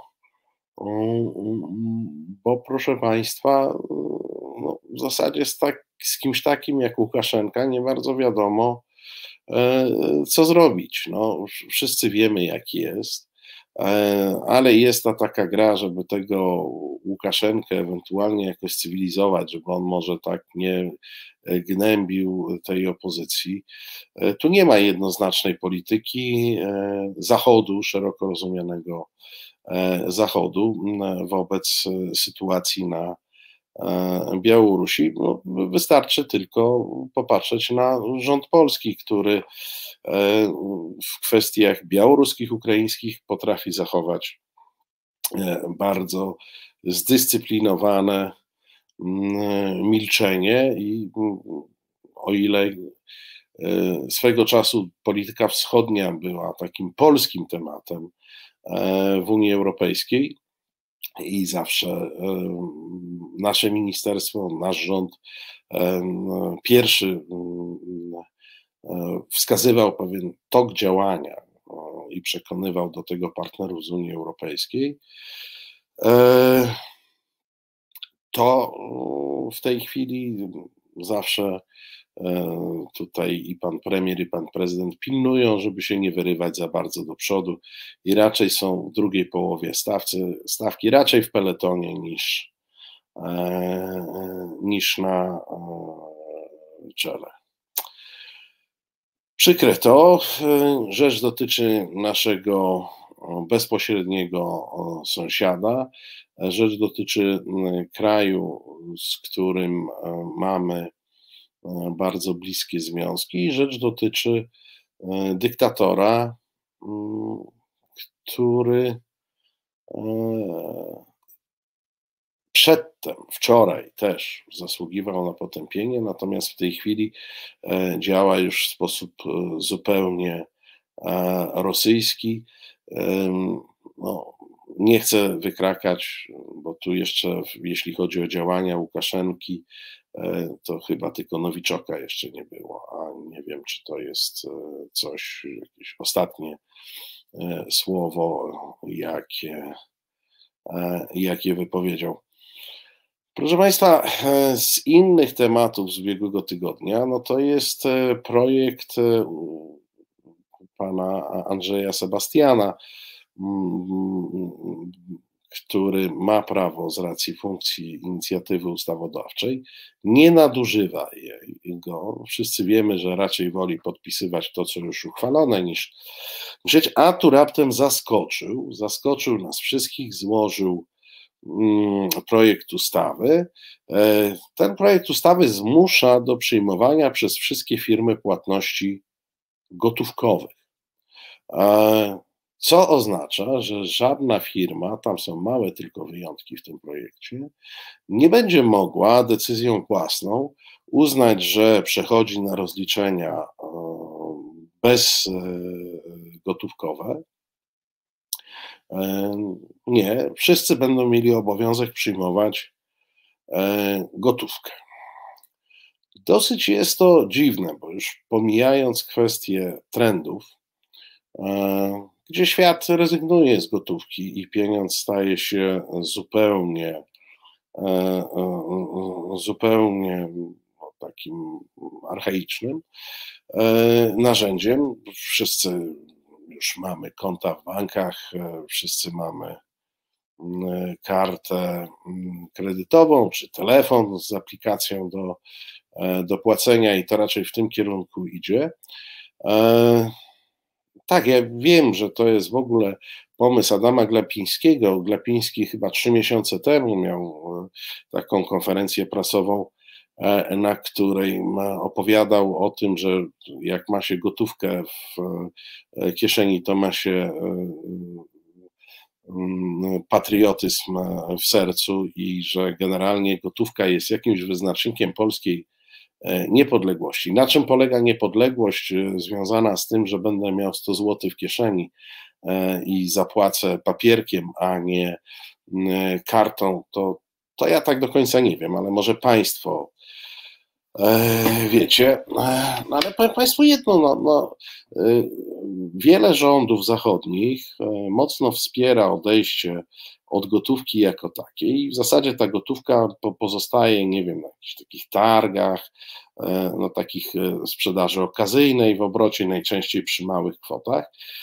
Z racji tego, i tutaj oczywiście pełna racja jak ze wszystkimi, którzy mówią, że pieniądz elektroniczny jest do wyśledzenia, tak, proszę Państwa, bo w ten sposób, e, wprowadzając pieniądze do systemu, elektronicznego systemu e, bankowego, jest to element zapobiegania praniu brudnych pieniędzy, jest to element e, kontroli nad przepływami pieniądza.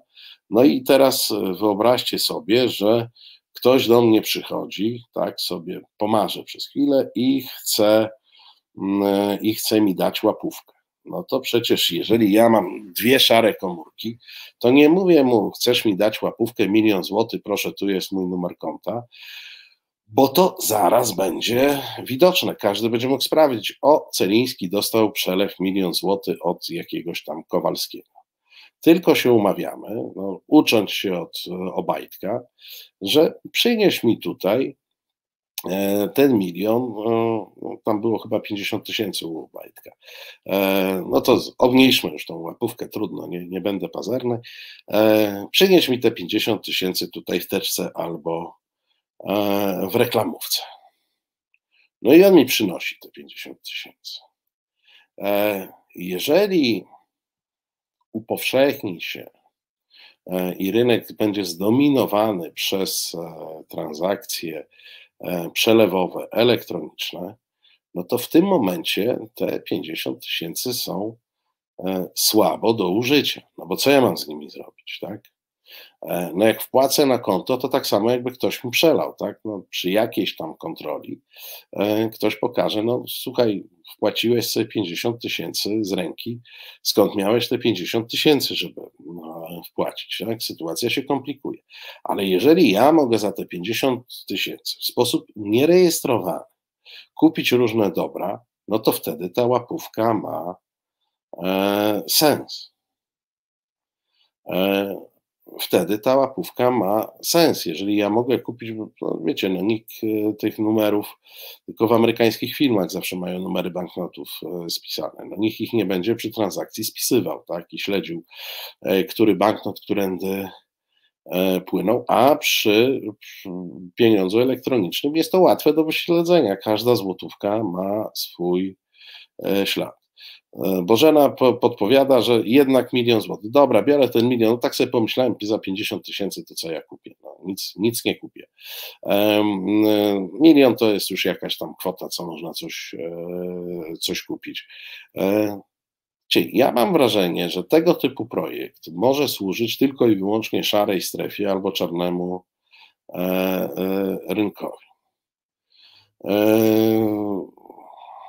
A, pan Jerzy pisze na Facebooku, obrót gotówkowy w świetle ostatnich doniesień a propos bezpieczeństwa energetycznego ma sens. Kiedy pojawią się przerwy w dostawie prądu, to cały handel stanie, e, a tak się stać może, biorąc pod uwagę nasz deficyt energetyczny, przypadki losowe i tym podobne. No to jest jakiś, proszę Państwa, dziękuję Panie Jerzy, to jest pierwszy sensowny e, e, argument za gotówką, jaki usłyszałem. E, tak, tak, tu, tu się zgadzam. Faktycznie, nam nie wiadomo, kiedy prądu może zabraknąć e, i wtedy faktycznie tylko, e, tylko e, banknoty. No ale wiecie, to, no, no, pachnie to archeizmem i można sobie dowcipy różne opowiadać, ale tak naprawdę może mieć to głębokie uzasadnienie e, e, w tym, że istnieje jakaś duża ilość gotówka, gotówki, która krąży e, w teczkach, reklamówkach czy paczkach z rąk do rąk e, i po to, żeby te pieniądze zamienić na dobra przeróżne, no trzeba utrzymać zasadę, w której każda firma ma obowiązek przyjmować gotówkę. Czyli odbiera się tutaj, mm, odbiera się tutaj, proszę Państwa, E, firmom możliwości kreowania własnej e, polityki, bo nie jest e, tajemnicą, że niektóre sieci handlowe bardzo poważnie przy, przygotowują się do tego, żeby albo odejść od gotówki w ogóle, bo to jest na wiele sposobów na wiele sposobów uciążliwe, albo wejść w taki system hybrydowy, w, w którym E, na przykład, nie wiem, w trybie nocnym stacje benzynowe będą tylko bezgotówkowe, tak? E, w tych godzinach nocnych. Ma, ma, to, ma to sens, zresztą e, takie rozwiązanie jest na przykład, proszę Państwa, we Włoszech. We Włoszech jest tak, że tam, nie wiem, po godzinie 19 czy 20, nie wiem dokładnie, w każdym razie w tych godzinach nocnych, Mm, e, stacje benzynowe są e, bezobsługowe i bezgotówkowe. To znaczy, owszem, można sobie zatankować, można tam kupić sobie batona czy napój, ale za wszystko należy zapłacić kartą. Nie ma możliwości płatności e, gotówkowej. No w Polsce zawsze musi być trochę inaczej. Proszę Państwa, no to chwilę sobie przy muzyce jakiejś skocznej przez Krzysztofa zadanej odetchniemy, ale za chwilę wracamy.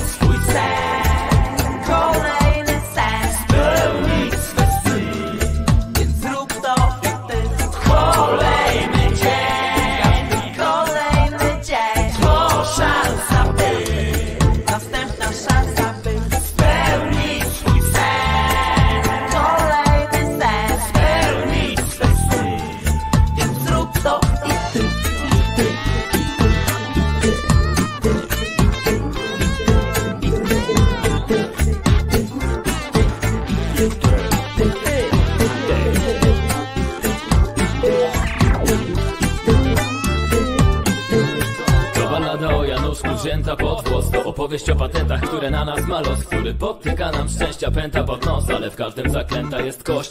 Zostaje w gardle jakość, bywa kością niezgody. Rodzi w nas złość i przynosi dowody Że nic nie jest jak powinno być I powody by życia nie śnić. Dla mnie to bzdury, po sobie widzę, że niebo może być blisko i bliżej Że każdy miesiąc, tydzień i dzień może być jak najpiękniejszy sen. Więc śmiało zmień swe życie, wiedz dokąd pędzisz I weź się za siebie zamiast narzekać i ględzić. Zawsze jest dobry czas, mówił tu, że w twoją myśl jeden raz. Panie Janie, panie Janie, wiem czasami co zrobić. Kiedy życie znów podcina mi nogi. Kiedy chciałem jak najlepiej, ale wszystko znów jest źle. Myślę po co znowu wchodzić w tę grę? Czy nie rzucić tego w diabły i nie popłynąć z prądem? Jak śnięte ryby albo ci, którym tak zwany zdrowy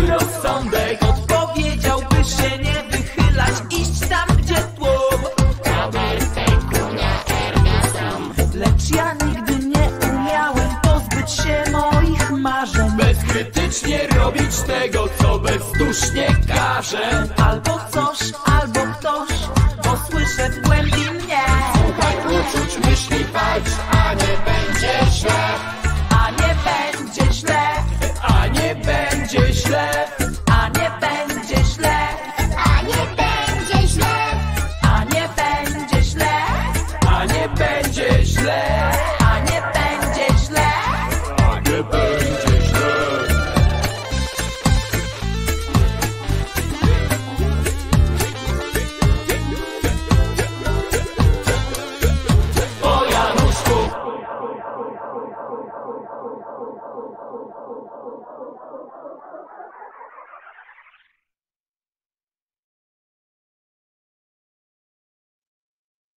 No i to było o, o Januszku. Ym, A nadal jesteśmy w rozmowach na koniec tygodnia. Marcin Ceniński, Reset Obywatelski.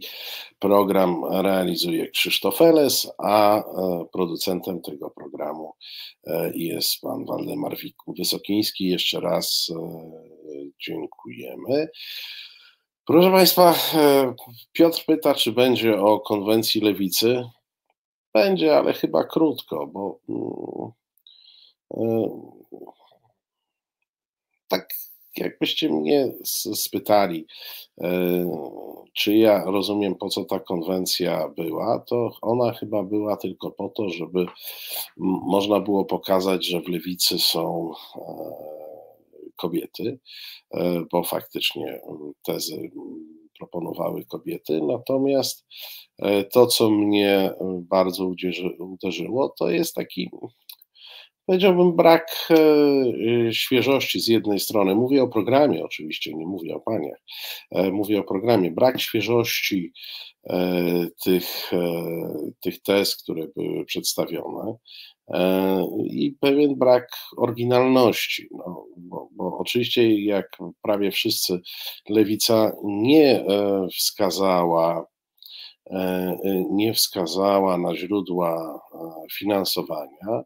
E, No, powiedziała e, 7,2% PKB na służbę zdrowia, a z tą służbą zdrowia to mnie bardzo bawi ten, bo to i, i PiS się na tym złapał, i lewica, ale się nie przyznają.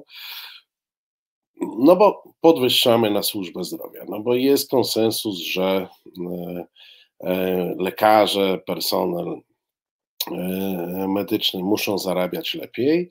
E, I jak ktoś im zwrócił uwagę, że mm, podwyżka e, pensji dla lekarzy będzie skonsumowana przez wyższą składkę zdrowotną, jaką lekarze zapłacą, bo lekarze to jest e, duża część tych 600 tysięcy samozatrudnionych na podatku e, liniowym, czyli tak naprawdę lekarze na podwyżce stracą, to zapadła jakaś cisza. E, Ale to jest, proszę Państwa, a propos tego, że nawet e, przy dobrych chęciach, bo ja tutaj e, nie neguję dobrych motywacji co do niektórych pomysłów, no, zwycięża coś, co mogę nazwać tylko w jeden sposób. Amatorszczyzna, amatorszczyzna, bo to jest My mamy polityków profesjonalnych, to znaczy takich, którzy najczęściej nie zajmują się niczym innym, tylko e, polityką, e, więc należy przyjąć, że wykonują pewien zawód jako e, e profesjonaliści i ci profesjonaliści zachowują się skrajnie nieprofesjonalnie, to znaczy oni proponują coś, e, co do czego sami nie wiedzą, co proponują i jakie będzie to miało skutki. Powiem Państwu, co mnie jeszcze martwi e, w tych konwencjach i w konwencji lewicy także. Bardzo w Polsce skupiamy się na seniorach PiS e, mówi o seniorach, Lewica dzisiaj bardzo dużo mówi o pakiecie dla e, seniora. E, I wiecie Państwo, dlaczego oni tyle mówią o seniorach? Nie dlatego, żeby to był pierwszy problem w Polsce, z całym szacunkiem dla seniorów, tylko dlatego, że seniorzy są e, coraz najliczniejszą i coraz bardziej liczną, z racji tego, że się starzejemy, grupą wyborców. E, w związku z czym jest to schlebianie dużej grupy e, społecznej. PiS będzie wymyślał 18 emeryturę, lewica do tego dorzuci różne pakiety dla seniorów. Jeszcze raz powiem, ja nie jestem absolutnie e, zwolennikiem tego, żeby seniorów zostawić bez pomocy, tylko jeżeli mówimy o jakiejś przyszłości, to szukałbym inwestowania w przyszłość. I tuż z całym szacunkiem dla seniorów, oni nie są przyszłością narodu i nie są przyszłością E, kraju. Więc jak słyszę o kolejnych pomysłach na pomoc e, seniorom, to widzę po prostu ludzi, którzy nie myślą w kategoriach krajowych, e, nie myślą w kategoriach innowacyjnych, nie myślą w kategoriach rozmowy o tych prawdziwych wyzwaniach, jakie przed Polską stoją, tylko chcą pozyskać głosy dużej grupy społecznej no tak, i Państwo piszecie, że eliminacja pieców kopciuchów, ale aut kopciuchów już nie. No tak, bo nawet ta część e, klimatyczno-ekologiczny, e, e, ta, ta, ta, ta część ekologiczno-klimatyczna, to też taka była, powiedziałbym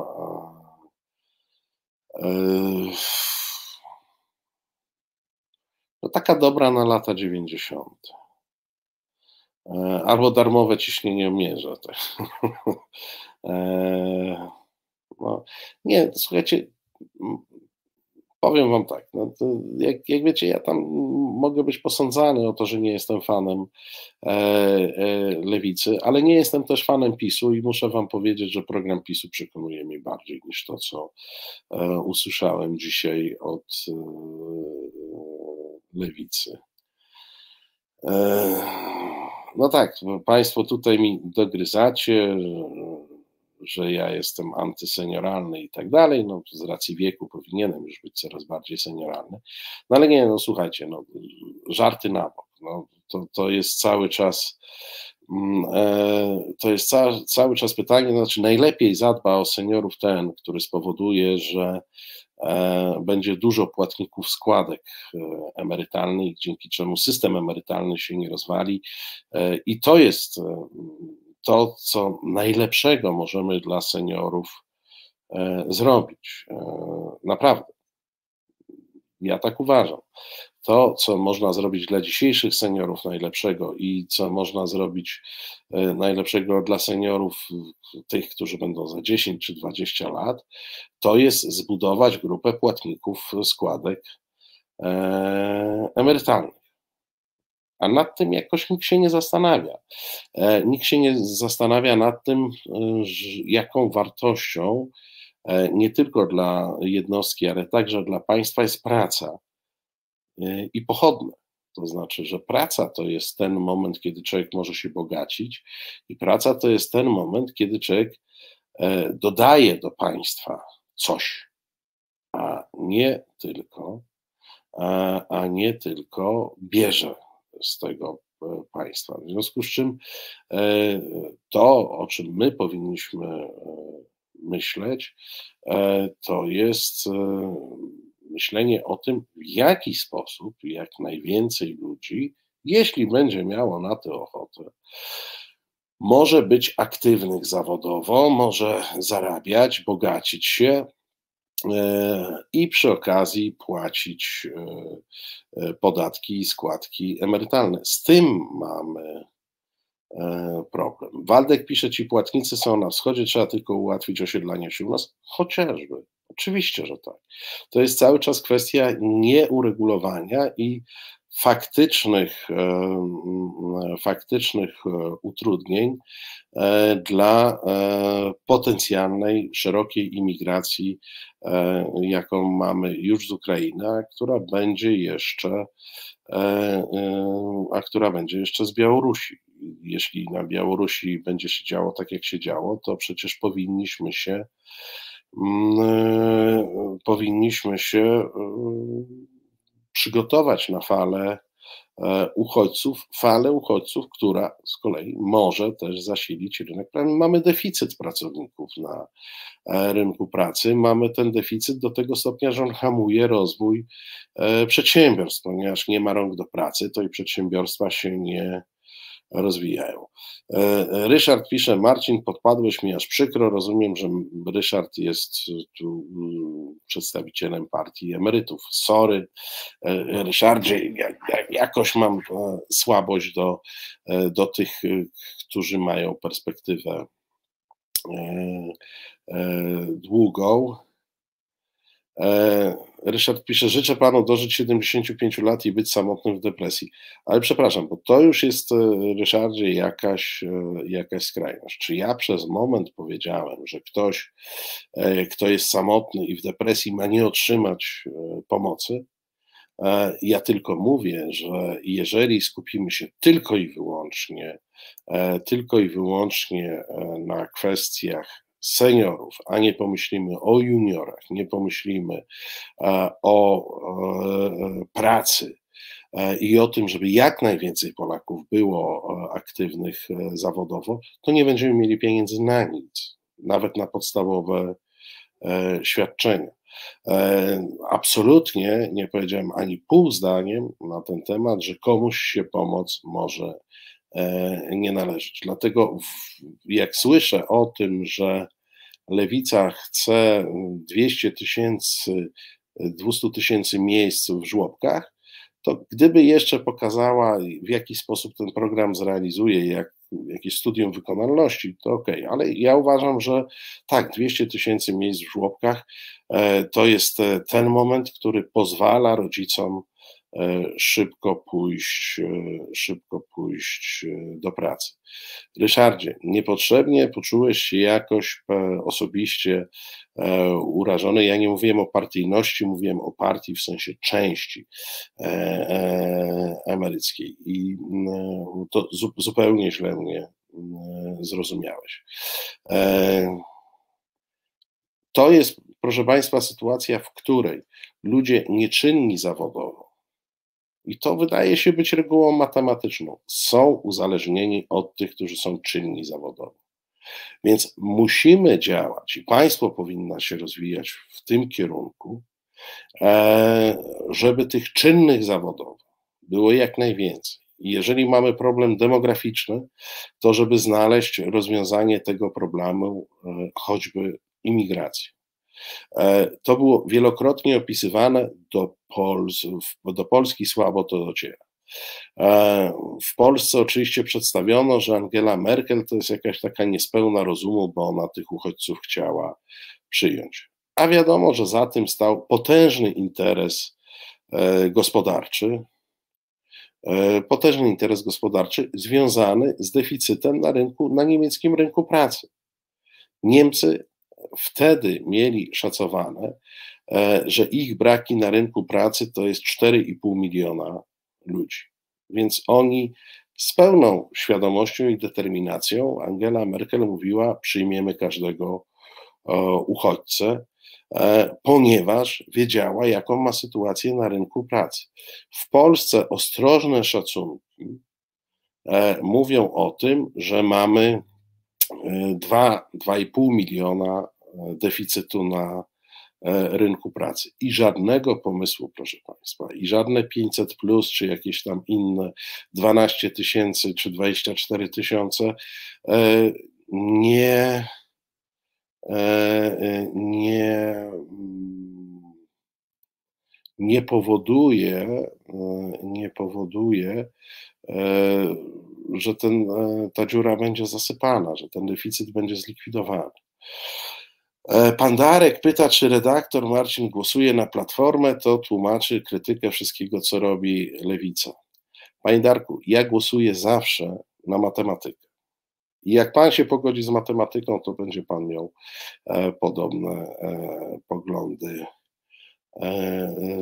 podobne poglądy. E, Czesław pisze, Kanada to samo, inwestują w imigrantów.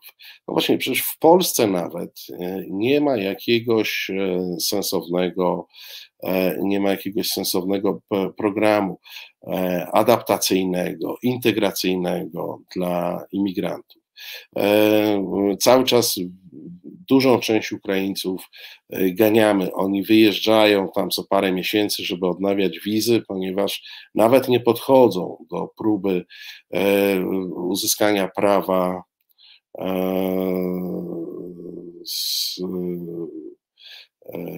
w, w uzyskania prawa stałego pobytu. Nawet, nawet nie próbują, bo to jest bardzo trudne. Więc oni sobie jeżdżą w tej z powrotem albo siedzą tu E, nielegalnie, co jest jakimś zupełnym, e, e, zupełnym jakąś paranoją. My tych ludzi potrzebujemy. Oni potrzebują nas, a my potrzebujemy ich. I tutaj jest absolutna wspólnota interesów. Jest tu mm, wspólny interes, należałoby go E, pielęgnować. No, państwo pytają tam o oficera ABW, który wypadł z okna. Zdaje się, że jutro u Tomka będzie na ten temat więcej. No, no jak są takie służby, to ktoś e, wypada, e, wypada z okna. Co tu można więcej co tu można więcej komentować. E, w słabym państwie ze słabymi służbami, czy z nieistniejącymi służbami, różne cuda się dzieją, a, w tej chwili podstawowy wysiłek ABW to jest próba przykrycia mm, jakiegoś i e, mm, zatuszowania całej sprawy. Keraj pisze, potrzebujemy programu mieszkalnictwa i y, żłobków, a nie opierają się tylko na emigracji, ale my potrzebujemy tego programu mieszkalnictwa i żłobków nie narodowego, ale także dla e, imigrantów. Tak, bo ten program mieszkalnictwa i żłobków także powinien, e, ja wiem, że to będzie obrazoburcze, co ja powiem, i, i antypatriotyczne, i antynarodowe. Tak, ale to powinno być także ułatwienie i zachęta dla e, Ukraińców, Białorusinów czy innych e, imigrantów. E, e które, e, którzy no, jako jedną, jeden z argumentów za osiedleniem się tutaj to powinien być taki program, dostępność e, do żłobków, żeby tu chciał, e, chcieli ludzie przyjeżdżać całymi rodzinami z dziećmi i osiedlać się tu na stałe. Bożena pyta Marcinie, czy naprawdę godziwe wynagrodzenie nie zlikwidowałoby choć częściowo tego deficytu zatrudnienia 2,5 miliona? Otóż nie. Otóż nie. To znaczy, ja nie jestem przeciwny godziwym wynagrodzeniom, tylko problem polega na tym, że nie ma tych ludzi. Tych ludzi fizycznie w Polsce e, nie ma. E, rząd nam pokazuje tam to kilkuprocentowe bezrobocie, to jest, to jest prawda, ale kilkuprocentowe bezrobocie to jest bezrobocie strukturalne, oznaczające, że nikt e, że nikt, kto szuka pracy, nie ma tak, że jej nie znajdzie, tak? Bo to są, bo to są e, tego typu tego typu procenty, gdzie, które zawsze są, tak? Nie ma stuprocentowego zatrudnienia, choćby z racji tego, że nie każdy chce pracować. Proszę Państwa, ja już muszę kończyć, bo e, zbliża się dziewiąta, a Państwa namawiam do tego, żebyście nie kończyli wieczoru e, z resetem obywatelskim, ponieważ już za chwilę o dziewiątej specjalne wydanie prawoteki z okazji Dnia Praworządności. E, bardzo Państwa zachęcam, żebyście zostali z resetem. Dziś wyjątkowo, jutro też będzie prawoteka, uprzedzając pytanie, tak jak co poniedziałek, jutro będzie prawoteka. Dzisiaj e, prawoteka ma wydanie specjalne. Zachęcam Państwa do tego, żebyście e, nie uciekali. Ja Wam dziękuję za dzisiejsze e, spotkanie. Pewnie nie wyczerpaliśmy każdego wątku, ale to się nigdy nigdy nie udaje. E, to były rozmowy na koniec tygodnia. Ach, no i przypominam, że e, jutro także Reset nadaje od 17 Tomek Końca, o 19 Tomek e, Piątek, o 19 Prawoteka, a dzisiaj już zaraz Prawoteka, zatem ja znikam. Dziękuję Państwu. Dobrego wieczoru. No i mam nadzieję, że będziemy kontynuować ten wieczór razem e, w prawotece. Kłaniam się Państwu nisko. Reset Obywatelski.